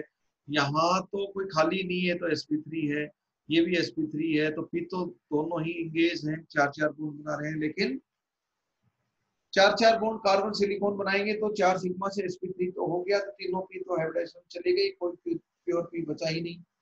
तो यहाँ पे बैक बॉन्डिंग नहीं होगी लेकिन यहाँ पे बैक यहाँ पे होगी। हो जाएगी हो जाएगी तो ये बैक बॉन्डिंग की वजह से एसपी हो गया इसलिए सब एक लाइन में होंगे लीनियर शेप का हो जाएगा। और यहाँ पे नहीं होगी तो नाइट्रोजन के ऊपर double bond C double bond O इधर और मिथाइल इधर, ये नॉन पेयर इधर। तो ये वी शेप बैंड शेप का ही रहेगा क्योंकि ये sp2 हो गया और बैक बॉन्डिंग होने से लोकलाइज नॉन पेयर है नहीं। तो ये sp हो गया तो लीनियर ही होगा। Sp2 हो गया तो ये बैंड शेप में जाएगा जाएगा। Yes or no और इसके पास लोन पेयर एक्चुअल में है तो ये बेटर लेविस बेस है। इसका लोन पेयर है ही नहीं घूमने चला गया। तो ये वीकर लेविस बेस आप लोग समझ गए हो this is correct yes sir are you able to understand yes sir. Okay, students, let us stop here. Thank you very much. Jai Hind, जय भारत। जय भारत. बैक बॉन्डिंग के कुछ एग्जांपल और करेंगे और हम फिर ब्रिज बॉन्डिंग देखेंगे कल। वो भी काफ़ी इंपॉर्टेंट है काफ़ी क्वेश्चन पूछे जाते हैं और फिर bond parameters okay thank you thank you sir हाँ दो तीन दिन हम थोड़े बड़े बड़े लेक्चर लेंगे फिर हमारे कंट्रोल में आ जाएँगी चीज़ें। केमिकल बॉन्डिंग की।